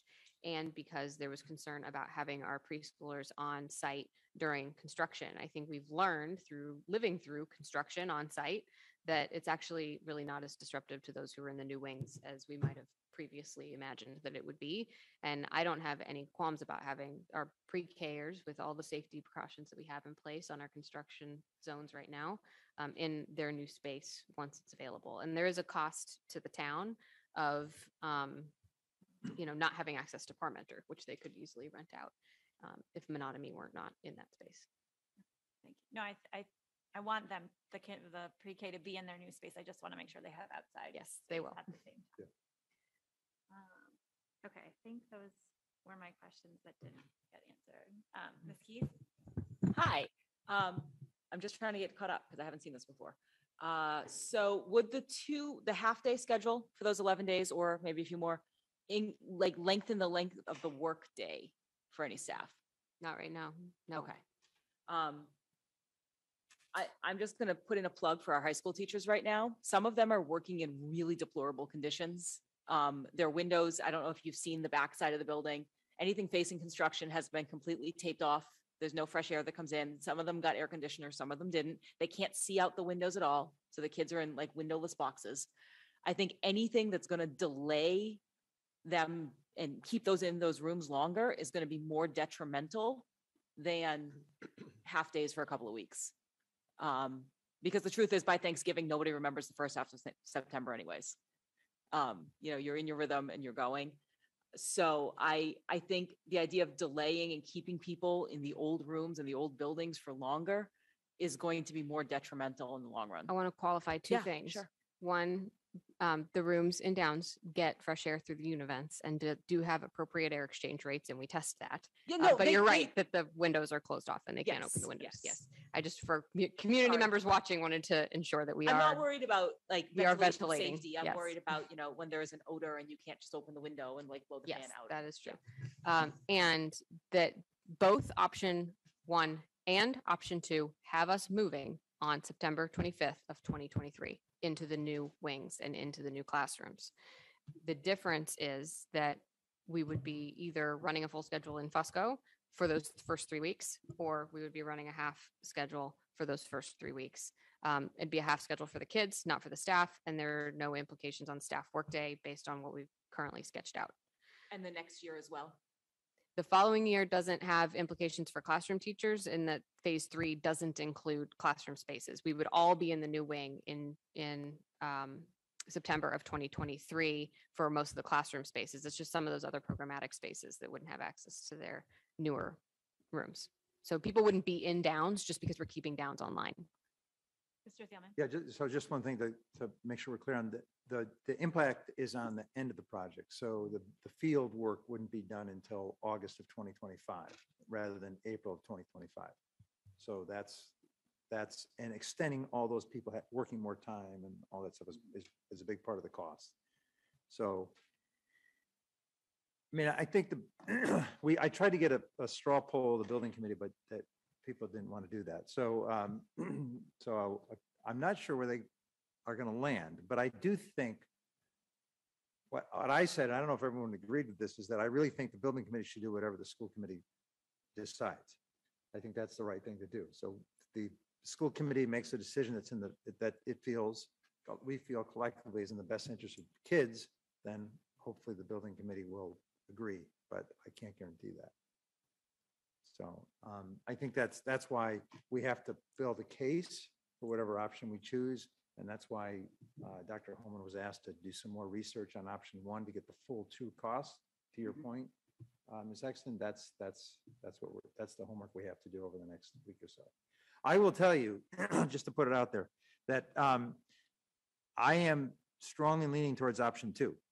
um, Because I think that's in the best interest of our students. It is a risk. It may mean uh, that we're not able to do something at the end of the project because we're using 1.2 million of contingency right now. But um, to me, uh, that's a risk that we would have to take and we would have to confront together as a community. And uh, I mean, I still want to hear from more people in the community, but I, I think given some of the disruption our teachers and our students have encountered over the past few years, we all have uh, uh, encountered this, it's um, for everyone to start fresh in 23 full days of school, normal school, all ninth graders, all teachers, feels like the right way to begin the school. It's also a right way to begin uh, life in a new building. So, but we're going to get more information. We're going to discuss it more next week. Ms. Morgan? Um, I think, you know, I, I'm, I'm a little concerned about that. I, I appreciate the way that we're doing this. Um, I'm a little bit concerned about the sort of reaction that we're going to see from folks, um, sort of in the interim two-week period between now and the next time that we meet, um, which is fine. I just, um, I think, you know, we're going to get some more information. I've been really pretty unequivocal about this from the beginning. I really think kids need to be um, in school and have their time with um, their peers and with their teachers, and that we'll never know uh, what the cost might be of having a disrupted start to the school year. Um, but it's you know it's potentially significant. Um, and I, I was talking with uh, one of my kids' former teachers today on my way into a meeting here, and, and we were talking about school starting, and and I I said something to the effect of, you know, the the whole like we're we're experiencing this period right now, right? That that we would be disrupting next year, and students meeting their teachers, seeing them almost every day, that it really only works if kids build those relationships with the adults who are who are going to teach and lead and and who they're going to learn from and so i you know i i hope that we support option two. Um, i hope that the building committee in turn is able and in a position to support option two. Um, and so you know i um, I just I I'm a little worried that people are going to feel that we're yet again sort of dithering around are kids going to school? Are they not going to school? Um and so i guess for me all i can control is that i i think kids need to be in full days of school yes i think it's expensive um i think it's worth it Um, so, you know, I plan to support option two when, um, I guess we're planning on voting on this in two weeks. So that's where I'm at. Mr. Kardon? Yeah, I was gonna say, I mean, I mean, if, if, if it would be helpful to come to a, a joint decision, then we could have a joint meeting with the building committee. But if, if they, if you think they're gonna defer to us, then we don't need to do that. But I, I do think, you know, and there's two of you on the both committees, so you can definitely communicate what we're saying, but, Superintendent. and the too. superintendent as well, yeah. Um, but, but if, I mean, we're not, I'm not hearing their concerns. If the only concern is not being able to put the lights on the field, for example, we can find money for the light, lights on the field somewhere else. I mean, I want to know what their concerns are that they're talking about. Yeah, I mean, the- do you want me to answer that? Sure. Yeah, so the, I mean, the concerns are is that we have seven point seven million dollars in contingency left. And that um, when you do an abatement and demolition of a building, all sorts of things could come up that we didn't anticipate. Yeah. So their concern is that we would use all the contingency too soon or get to a point where we'd have to take votes to not do things at the end of the project. Right, right. And so when we sign the project funding agreement with the MSBA, we're actually not allowed just to go to other places to get money. uh, Right, right. But the original plan was to not include the lights, knowing that at some point. We're correct. We would add the lights in some- Well, well, well, well, right? Yeah, but let me, let me finish. Yeah. So we, we, we could correct at the end of the project, we can value engineer, we can take out certain things. We could say we're not going to do the lights on the, on the facility, on Yeah. the fields. Yeah. There are some people who really want lights. Yeah. Um, uh, we could say, we're not going to do the connection from the bike path to Mm-hmm. The school. There are certain things, we, we have options at the end of Mm-hmm. the project to say we won't do certain things. And so absolutely, and we could take those votes on the committee, and not do certain things. That's how it works. There, I, I don't know if a joint uh, meeting is the, is what, we, I mean, what we agreed to was committee would take its vote and we would, I mean, I can't speak for, for Kirsi or Liz, but we would go to the building committee and say, look, the, this, the, the, the, the school committee strongly feels whatever we feel by vote. And I'm going to urge you, everybody on this committee to vote the way the committee has voted. And they may ignore that or vote, I don't know what they're going to do. I really don't. I can't predict that. Yeah. Yeah. I mean, to me, again, I, I think to spend the 1.2 million to avoid this disruption to me is worth it. And I understand the concern about the contingency and, and what I'm trying to say is we're, that 1.2 million has to come from somewhere. It mm. can come from somewhere else if, if we end up with some other concern within the building project. Right. Mm, well, Not technically, but by moving things out of the project, we can fund them separately later. Uh, Yes, we, we, hmm. we could, we could say, the building committee could say, look, we're going to value engineer out. We're not going to do certain things. And we're going to ask, We can lower furniture and fixtures, for example, and fund that somewhere else. I don't think we can because that's in the, pro- no, no. So we, we would take, no, we can't do that. No. So let, okay. Yeah, there's, there's, there's, there's things that we could, Yeah. we Okay. could, we could uh, look at. Yes. But you're kind of constrained by uh, a guaranteed maximum price and a project funding agreement signed with the MSBA. Yes. And then at the, as you get to the end of the project, there are certain things you say, we're not going to be able to do them. Right. And they're deferred to whenever the town can get to it. Right. By however the town can do it, or they're not going to be done at all. Yes. That's a possibility. We all understand that. But there are some people, committee represents different constituencies in the community, and there are some people that are like all those things at the end of the project. So that, that's it. So Okay. Dr. Allison Ampe? Thanks. Um, I just wanted to speak to a couple things. First, we haven't talked that much about what the problems are if we were to have a further delay in the project. And I think that's one of the main things that really pushes me towards option two. But I personally was not in favor of taking a vote tonight or even a straw poll because we're basically weighing two not great options. Mm-hmm. Either we're putting our kids through a less than optimal start of the school year and keeping the project on track and keeping funding, keeping our contingency well enough that we hope to get to the end of the project and be able to fund everything we expect to fund. Or we're going to be spending a big chunk of money, possibly endangering some of the stuff at the end of the project. And delaying the project itself, so everyone won't be able to benefit from um, chunks of the new building until, you know, three, five months later, or three months later. Um, It's, I think it's a big enough decision that we shouldn't just hear about it and vote on it the same night. Uh, So I am in favor of, as has been scheduled, to wait um, a couple weeks. And I don't think we're dithering. I think we're giving it good consideration and building our case so that we have the information that we want. Um, so I was going to say something else. Now I've forgotten. Um,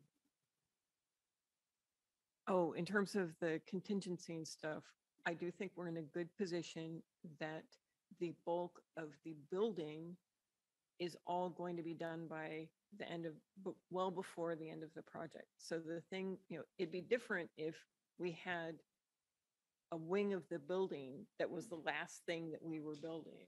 Mm-hmm. And I would feel different about the mm-hmm. contingency in that case. But in this case, we're talking about fields, lights, bike path, which are things which are more easily severable from the project without actually necessarily meaning that they would never be done. Whereas if it was an actual building, we'd be like changing the materials and, you know, there's all sorts of stuff that would have to happen. So uh, I think this is, you know, we're in a good situation in terms of the timing of the project and, and what we're building when. Um, But it is a big decision, so.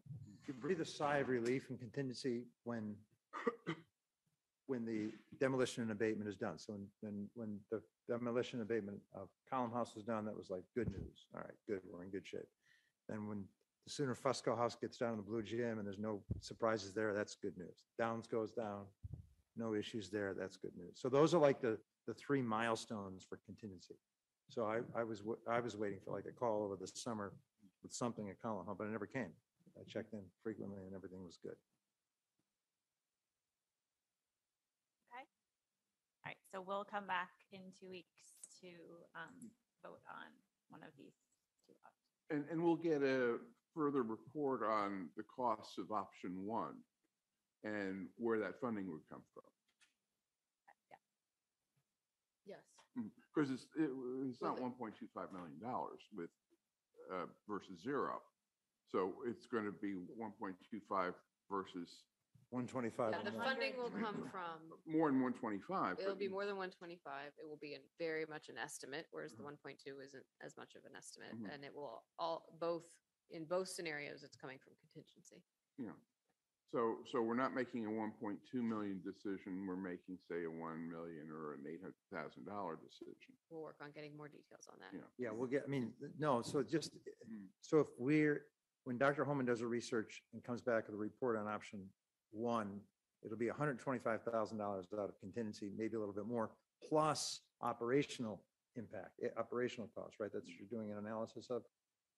Um, ye- yes, we've done an analysis where we've taken a look at what the instructional time Right. cost is. And, and that's, those are dollars that essentially we would spend anyway, but would not go back to the Right. students. And I can share that as well. It's Yeah. a little bit, of- it, it's a little bit of more of a mental exercise than it is um, anything else, but I think Yeah. it is worth considering because it's part of the cost of that option. Right, it's town money, it's right, it's, it's, it would, right, right. Mr. Hayner? help you may not understand. That hundred twenty-five thousand plus is dealing with construction costs and other costs, maybe educational costs outside of the construction. There are certainly educational costs to consider outside of the construction. What I'm construction. saying is the additional, hun- when you said there was possibly more than hundred and twenty-five thousand, is that related to construction, which would come out of contingency? Or is there other costs that we have flexibility on? Outside of the MSBA? There are not really costs that impact our operating budget. No, there are, there are the opportunity costs essentially associated with losing thirty hours. The money you're talking about in option one and option two, It's all contingent. is all contingency, thank you. Right, but Dr. Homan's been- been asked to explain this to the building committee, the opportunity. But that's. Right. very good. But, I mean, but there are also costs around outfitting lab temporarily that aren't in the one twenty-five. Correct. Rental modulars for athletics and community ed that aren't in the one twenty-five. So it's, I mean, it's one twenty-five and one point two, and this one's gonna come closer. The question is how. Yeah, and I Yeah. think that's, that's the number that we need to s- see that it's, cl- and I, that I think we need to share with the building committee. Right, right. Is that it is closer to one point two million dollars than hundred and twenty-five thousand dollars. And that's, that's the piece that we want. to. Right. I think that'd Okay, make it a lot easier to make a determination, towards the option two. Once that is Okay. Right, I think you're right, Bill. We're gonna move on. Uh, It'll su- all work out. We'll- Superintendent's report.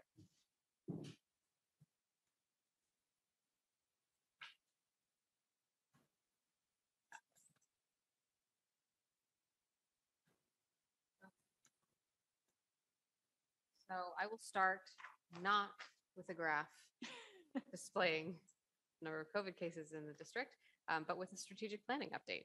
So I wanted to provide a little bit of an update um, on what, where we're at with strategic planning. We did provide a more comprehensive update to the um, curriculum instruction and accountability um, subcommittee on in late August. We have a smaller group of individuals, um, most of whom came from the original larger group that did the mission and vision work. And this group is um, made up of administrators, teachers, community members uh, in four subcommittees, one subcommittee per strategic priority. And I'm going to be talking to Dr. Janger soon, now that the kids are back in school, about whether we can add a student member to perhaps priority one um, to work on that one with us as well. And this group, split into their subcommittees, has the task of developing two to four strategic initiatives for each of our uh, four priority areas. So over the course of the next several months, they're going to be working on this. Um, the goal is for them to have drafts of strategic priorities ready at some point in October that we can start uh, workshopping with members of the community and getting feedback on, and then redrafting. Um, and then in order to bring a draft of a strategic plan to the school committee and CIA subcommittee for consideration later on in the school year around December. Um, our hope, our current timeline is to have a strategic plan ready for approval by the school committee at some point in January of 2020. What year are we in? Three.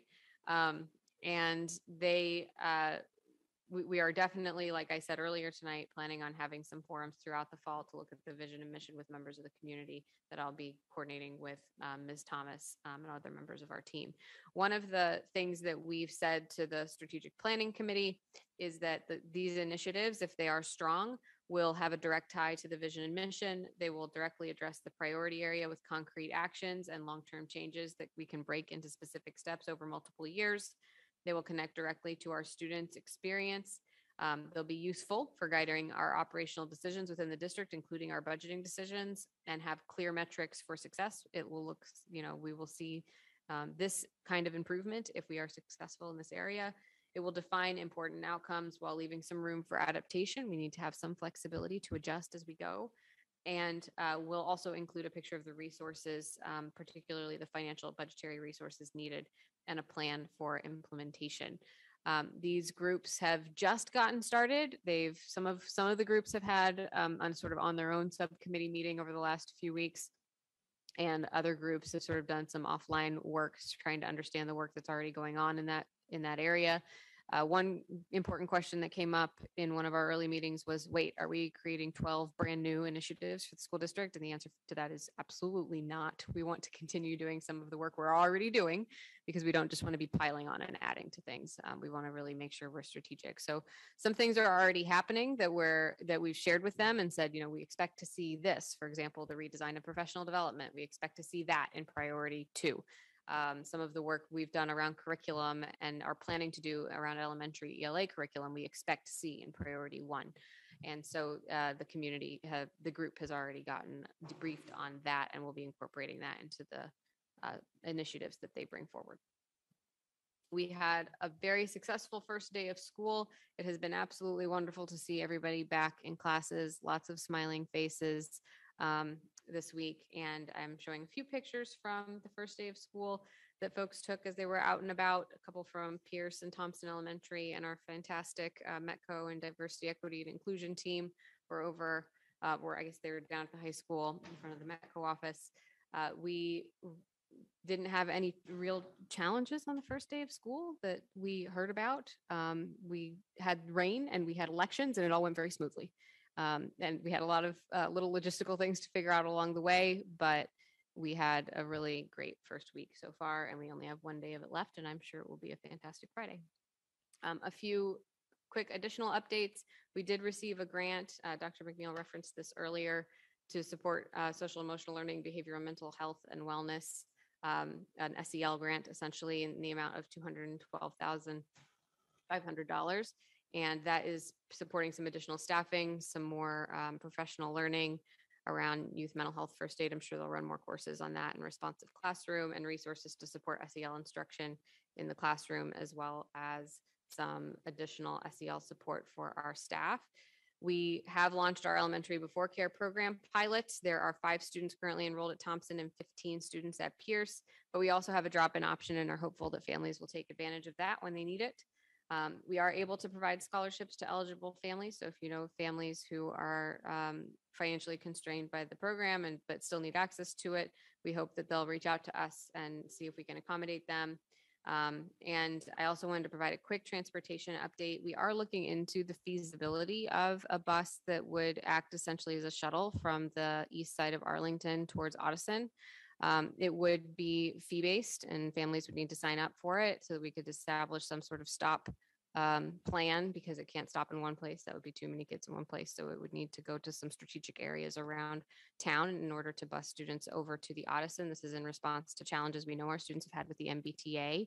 We are not yet prepared to launch it, but we are seeing what it would involve, making sure that we would have the appropriate staffing um, and resources in place in order to do that and mapping out um, what stops would look like. So we may send a, an inquiry survey out to the community to see what the interest level would be um, and what some of the transportation challenges are for our families, whether they're still encountering those um, or whether this has been resolved by additional routes added by the MBTA. I haven't heard anything yet from families on this challenge, but we certainly do throughout the year and have. Uh, we also, uh, I also wanted to update everybody that the Gibbs bus has also been a, a, bit of a challenge this year. We filled up the spots for the Gibbs bus almost immediately um, based on our requirement to bus any students who are two miles or more away from Gibbs and didn't have any room for fee-based spots or wait lists um, on the Gibbs buses this year. So it's clear that that's being used um, and that became a capacity challenge. And so one of the things we're thinking about when we think about Ottoson is do we want to increase capacity for our sixth grade students who are using those buses? Is there a way to do that? Um, and if not, then maybe we can use those resources to help out with the kids who are coming from East Arlington across town to the Ottoson. So I just wanted to provide a bit of an update on that because I knew that that had been some conversation and that some parents had had some challenges associated with transportation to start the year. Um, a couple additional updates um, in athletics. We had over 540 students try out for fall sports, which is somewhere between 80 and 100. Mr. Bowler told me uh, more than we've had in previous seasons. We have some very competitive, talented, and excited teams um, starting games this week, and they've all been out practicing and very enthusiastic about the start of the fall season. They seem very happy to be um, back at athletics this fall. We have one active search currently for an administrator role. As you all know, our spectacular Mr. Mason has been offered the role of deputy town manager and will be um, headed over to across the street um, offices before too long. He is staying with us as we get ready to launch the budget process, and we currently have the position posted. That posting closes on September 16th. We're planning on doing initial interviews the following week of September 19th and final interviews the week of September 27th. And I will be putting together an interview committee um, very, very soon. Uh, and we'll keep you updated on the progress of that search. I updated your enrollments. We're currently projecting about 150 more students compared to last year's October 1 numbers. We have overall increasing enrollment at the secondary level, um, a slight increase at elementary. Uh, overall, though, it looks as though our elementary enrollments are leveling off and are fairly consistent with the projections that we've received. We do have a new half learning community at grade eight at Ottoson that rolled up. Um, we had accelerated that additional half learning community last year at grade seven, and we're rolling that up now into grade eight. And those are my updates for today. I'm happy to take any questions. Ms. Morgan? Um, I think the athletics update is great. One of the things that I, as we, as we talk about how our increasing enrollments at the secondary level, um, I worry about how many kids are cut from sports at the high school. Um, so I guess I, I think John probably has, um, data on that. I hope so. If he's not, I, I hope that he can be directed to track that because um, as these cohorts, the big one, the, the high water mark is the current fourth grade, but these groups are just going to get bigger and bigger as we start marching those kids through. And I, I'm, I'm happy that, that we had more kids try out and I'm happy that they're not paying fees to, to participate. And if that helps more kids participate, that's great. But if they can't make the team, um, then that's, that's not great. So I would like to know how many kids are being cut from fall sports, winter sports, spring sports, um, so that we can start to look at that because um, I, I, that's something I worry about a lot over the next um, five, six, seven years. Just to tag on to what Ms. Morgan said, I think the question isn't just how many people are cut, but also is there a way we can expand our offerings so that they have some place to play? Mhm. Um, either, you know, there's all sorts of different things it could be. Mhm. Um, but that's, I mean, I think Mhm. that's really what we're looking for is trying to make sure that, you know, what would be entailed to make sure that we have offerings for our students who want to play a sport. And what do we need to do to see that happen? Anybody else? Thank you. So now we have a possible vote to approve the AEA Unit C contract, which is the administrative assistance throughout the district. Um, Does anyone want to? Rod, do you want to, Rob, sorry, Mr. Spiegel, share anything about that before we? Um, we had the successful negotiations with AEA Unit C and we uh, reached a memorandum of, of agreement, um, which um, my understanding is that the Unit C has ratified and um, you previously discussed this in an executive session um, a few weeks ago. Um, so I think, um, you know, it's a good, fair uh, contract, and I want to credit again Mr. Mason for, um, you know, he's, uh, one of the things he's been very helpful at for all of the negotiations this year is really thinking creatively about how we can um, have salary structures that will um, both re- uh, re- um, attract and retain staff. And I think he's really driven us forward, I think, in several of our units to be able to do that. All right.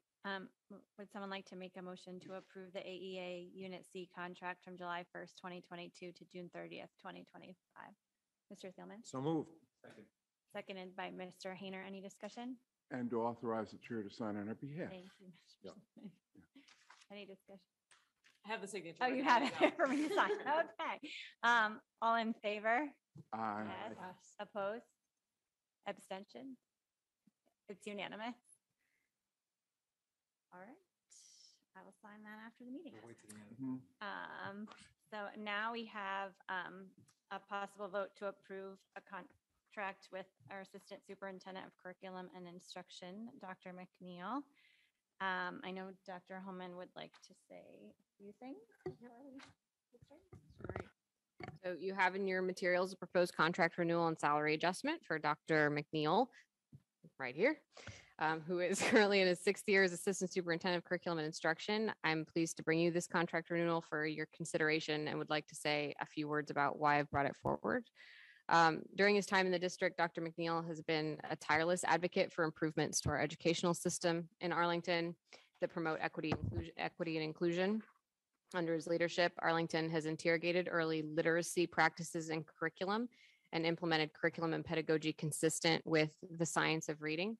We've expanded instructional coaching at the elementary level to support instructional improvement. We've supported and implemented practices such as ACE blocks to give teachers needed planning time to make adjustments to instructional practice based on formative assessment data under his leadership. And we have conducted audits of our curriculum and teaching, which have supported the expansion of representation of diverse identities in our curricular materials and expansion of professional learning opportunities, which you talked about earlier tonight, that support culturally responsive teaching practices. Um, during his tenure, he select, successfully supported curriculum and instructional improvements through two challenging years of pandemic education, um, alongside all of the challenges that came along with that. And we're looking forward to sharing some good news about student growth as soon as our MCAS scores are released to the public and are no longer embargoed. Dr. MacNeal is overseeing really exciting improvements to professional learning this school year, um, as well as to continuing to build out our coaching models and our literacy work that will support strategic priority one, ensuring equity and excellence, as well as strategic priority two, valuing all staff. These achievements for our system are significant and foundational to the work we're looking forward to over the next few years. And very importantly, only leaders who are thoughtful, reflective, and humble are able to facilitate the kinds of instructional improvements that he has accomplished for the Arlington Public Schools during his time here. In my 14 months of superintendent, I have observed that Dr. MacNeal models all of those qualities in his work with the leadership team. He's consistently willing to interrogate and improve upon his own leadership practice in order to better serve our schools, our leaders, and most importantly, our students. And for these reasons, I hope you will support the renewal of his contract this evening. But now, just gonna make a motion. okay, I'm looking for a motion to approve the contract with Assistant Superintendent of Curriculum Instruction, Dr. MacNeal, and to authorize the chair to sign it. So moved. Motion by Mr. Hayner, Second. second by Mr. Schlichtman. Any discussion? All in favor? Aye. Yes, opposed? An abstention? It's unanimous. Thank you, Dr. Congratulations. Congratulations. Uh, Thank you very much for your confidence and faith in my leadership, and I look forward to uh, our, what we can accomplish together as we move forward. Thank you very much. Thank you. Thank you. Thank you. It's your job now to come up with the perfect logo. Um, okay, we have some policies to discuss and approve. Uh, Mr. Schlichtman. Okay, uh, on uh, August 12th, the Policies and Procedures Subcommittee met to consider things that were remaining on our plate after June. First one was the secure gun storage resolution that was brought to us by some Arlington parents. Uh, The, you know, first of all, we, as a practice, will not go and adopt something that's brought to us in, in o- public comment period. Uh, Also, the form of the resolution, a resolution is designed to express an opinion. It, it is not directive, and the original form of the resolution presented to us had the committee directing the superintendent to do things, which is not appropriate in the resolution. Um, So we had Chief Flaherty into the meeting, and she discussed what is being done right now. Uh, There are a couple of notes about some of the things she said in the minutes of the subcommittee meeting. Uh, There is currently tremendous cooperation between uh, uh, police department and public schools in, in terms of gun safety. And that we are on track to do the things that are in, in the context of the resolution. So that the bottom line was to change the directive to a- a statement of support for this work. And so that, uh, because it was essentially before us before and we knew it was coming, and it's not a policy, it's a resolution, I will move approval of the resolution as put forth in the uh, report. Second. We have a motion by Mr. Schlichtman, second by Mr. Hayner. Any discussion? Those in favor? Aye. Yes. Opposed? Abstentions? It's unanimous. Uh, Thank you. Next up is uh, first read for file AD Vision, Mission, and Strategic Priorities. Basically, this is housekeeping. We are taking the new vision, mission, and strategic pri- priorities that we adopted in June uh, and codifying them in the policy manual. So when this is adopted, be it through uh, uh, suspension of the rules tonight to go to second reading or to, or, by waiting two weeks to adopt it, we will replace the old uh, vision statements with the one that's current. So right now, we're, we're not current. This just puts in the language that that we essentially adopted in June.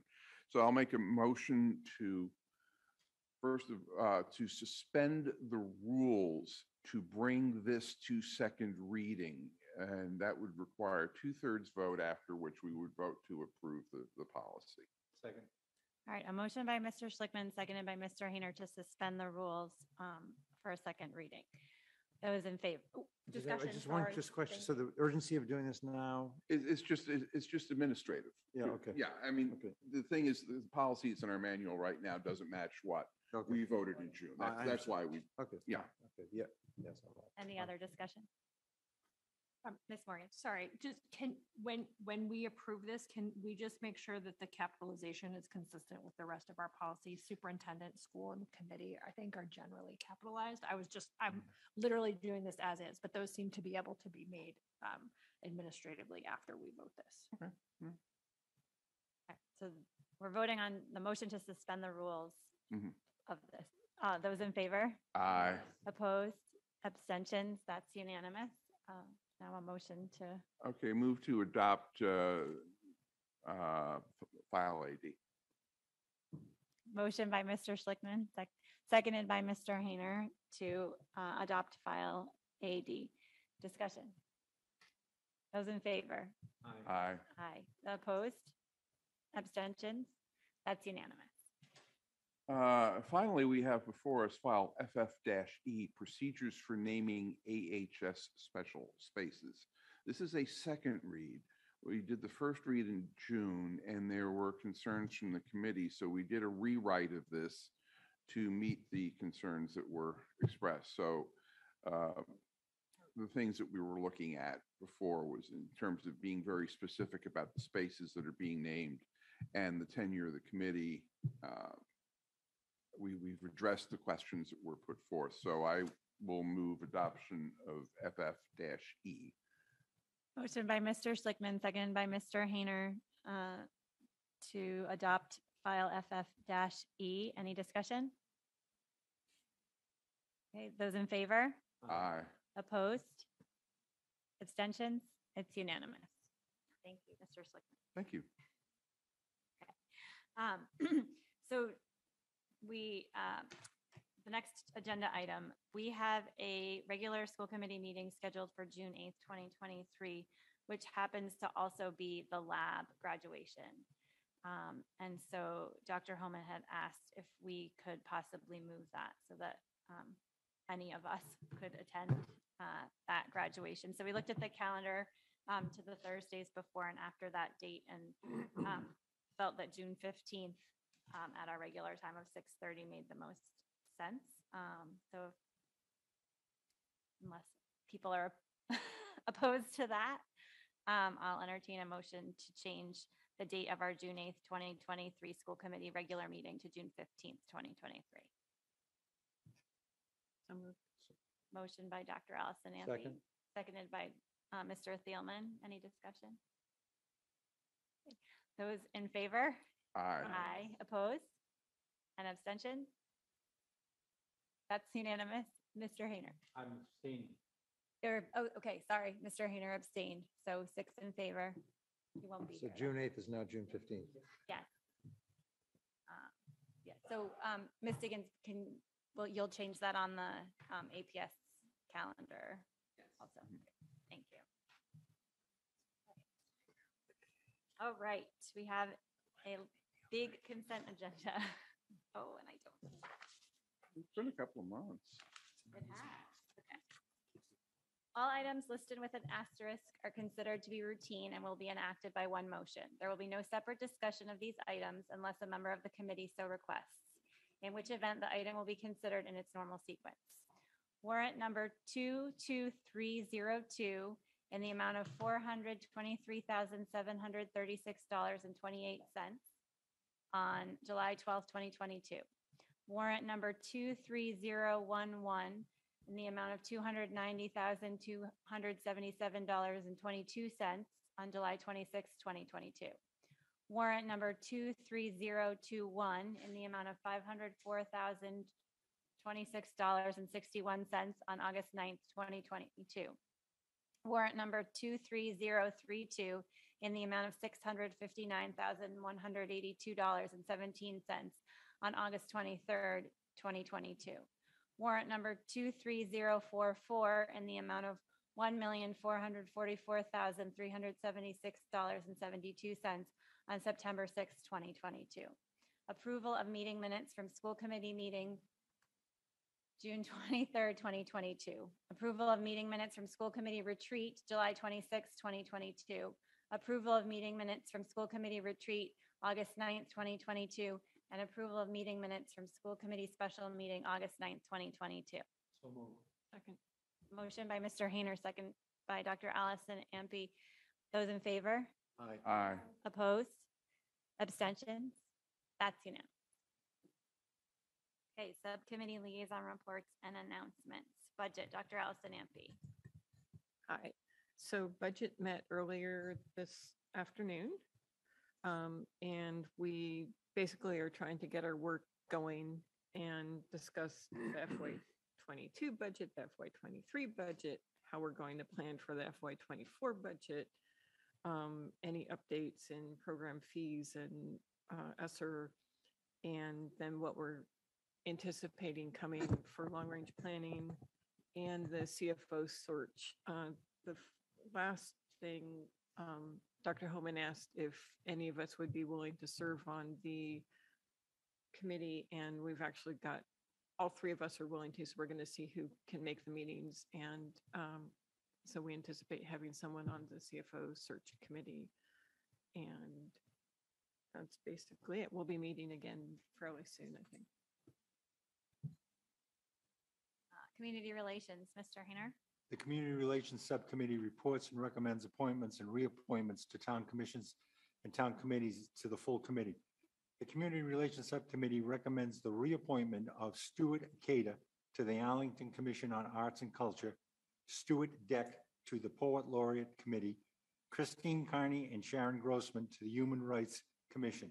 Therefore, I move that the full committee approve these four reappointments. Second. We have a motion by Mr. Hayner and a second by Mr. Thielman. Any discussion? Mr. Schlichtman? I'm happy to vote for this. These are really high-quality people, and I'm proud to say that they're representing us. And the reappointments as well. Yes. Anybody else? Okay. Those in favor? Aye. Aye. Yes. Opposed? Abstentions?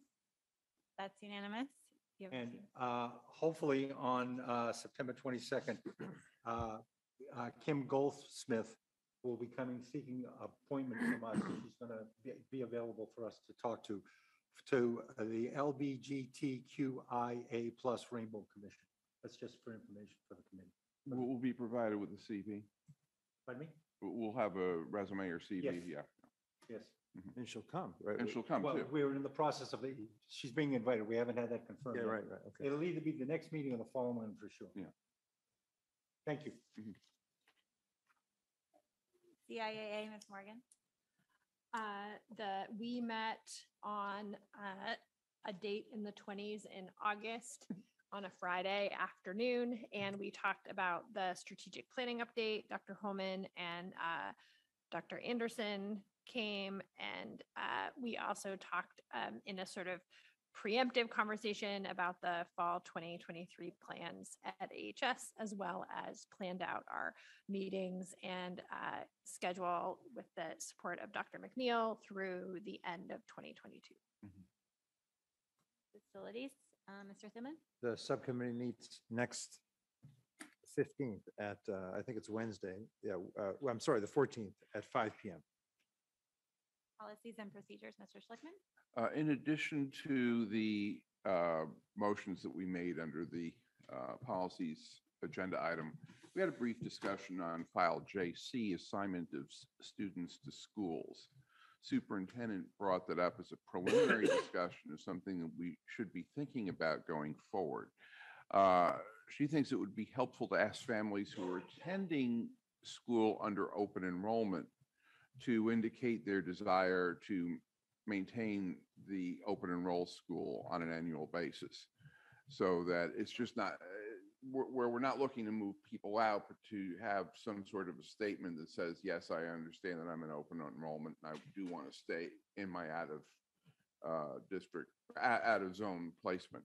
Um, the, the question that she had for us as well is that historically, we haven't done a really good job of tracking this in Power School.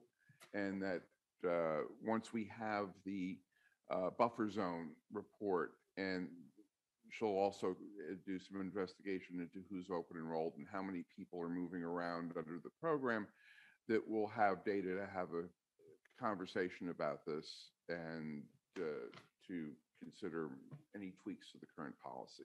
But that's just sort of a heads up of something that sort of Novemberish, Decemberish, we might be looking at. Thank you. High School Building Committee, Mr. Thielman. We had a good conversation about it right now. No further report. We're trying to reschedule our, our, our meeting because of a conflict with the Jewish holidays. Um, and then uh, Superintendent Evaluation Subcommittee, which was created uh, at our special meeting this summer, Mr. Looking to Kardon. schedule a meeting shortly. Thank you. Uh, Liaison reports? Um, Announcements? Future agenda items?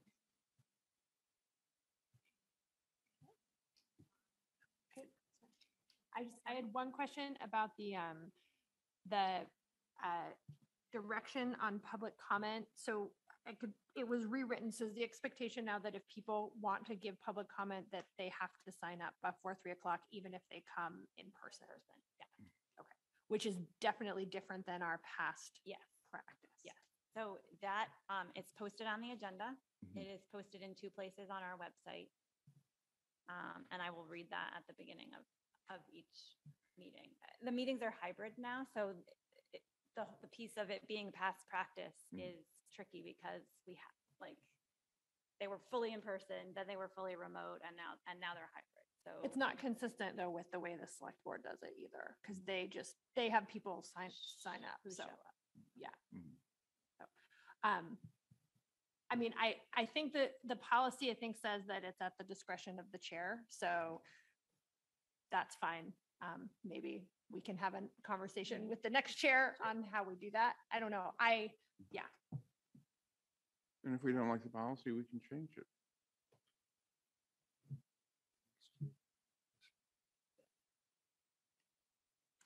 Um, Okay, um, executive session.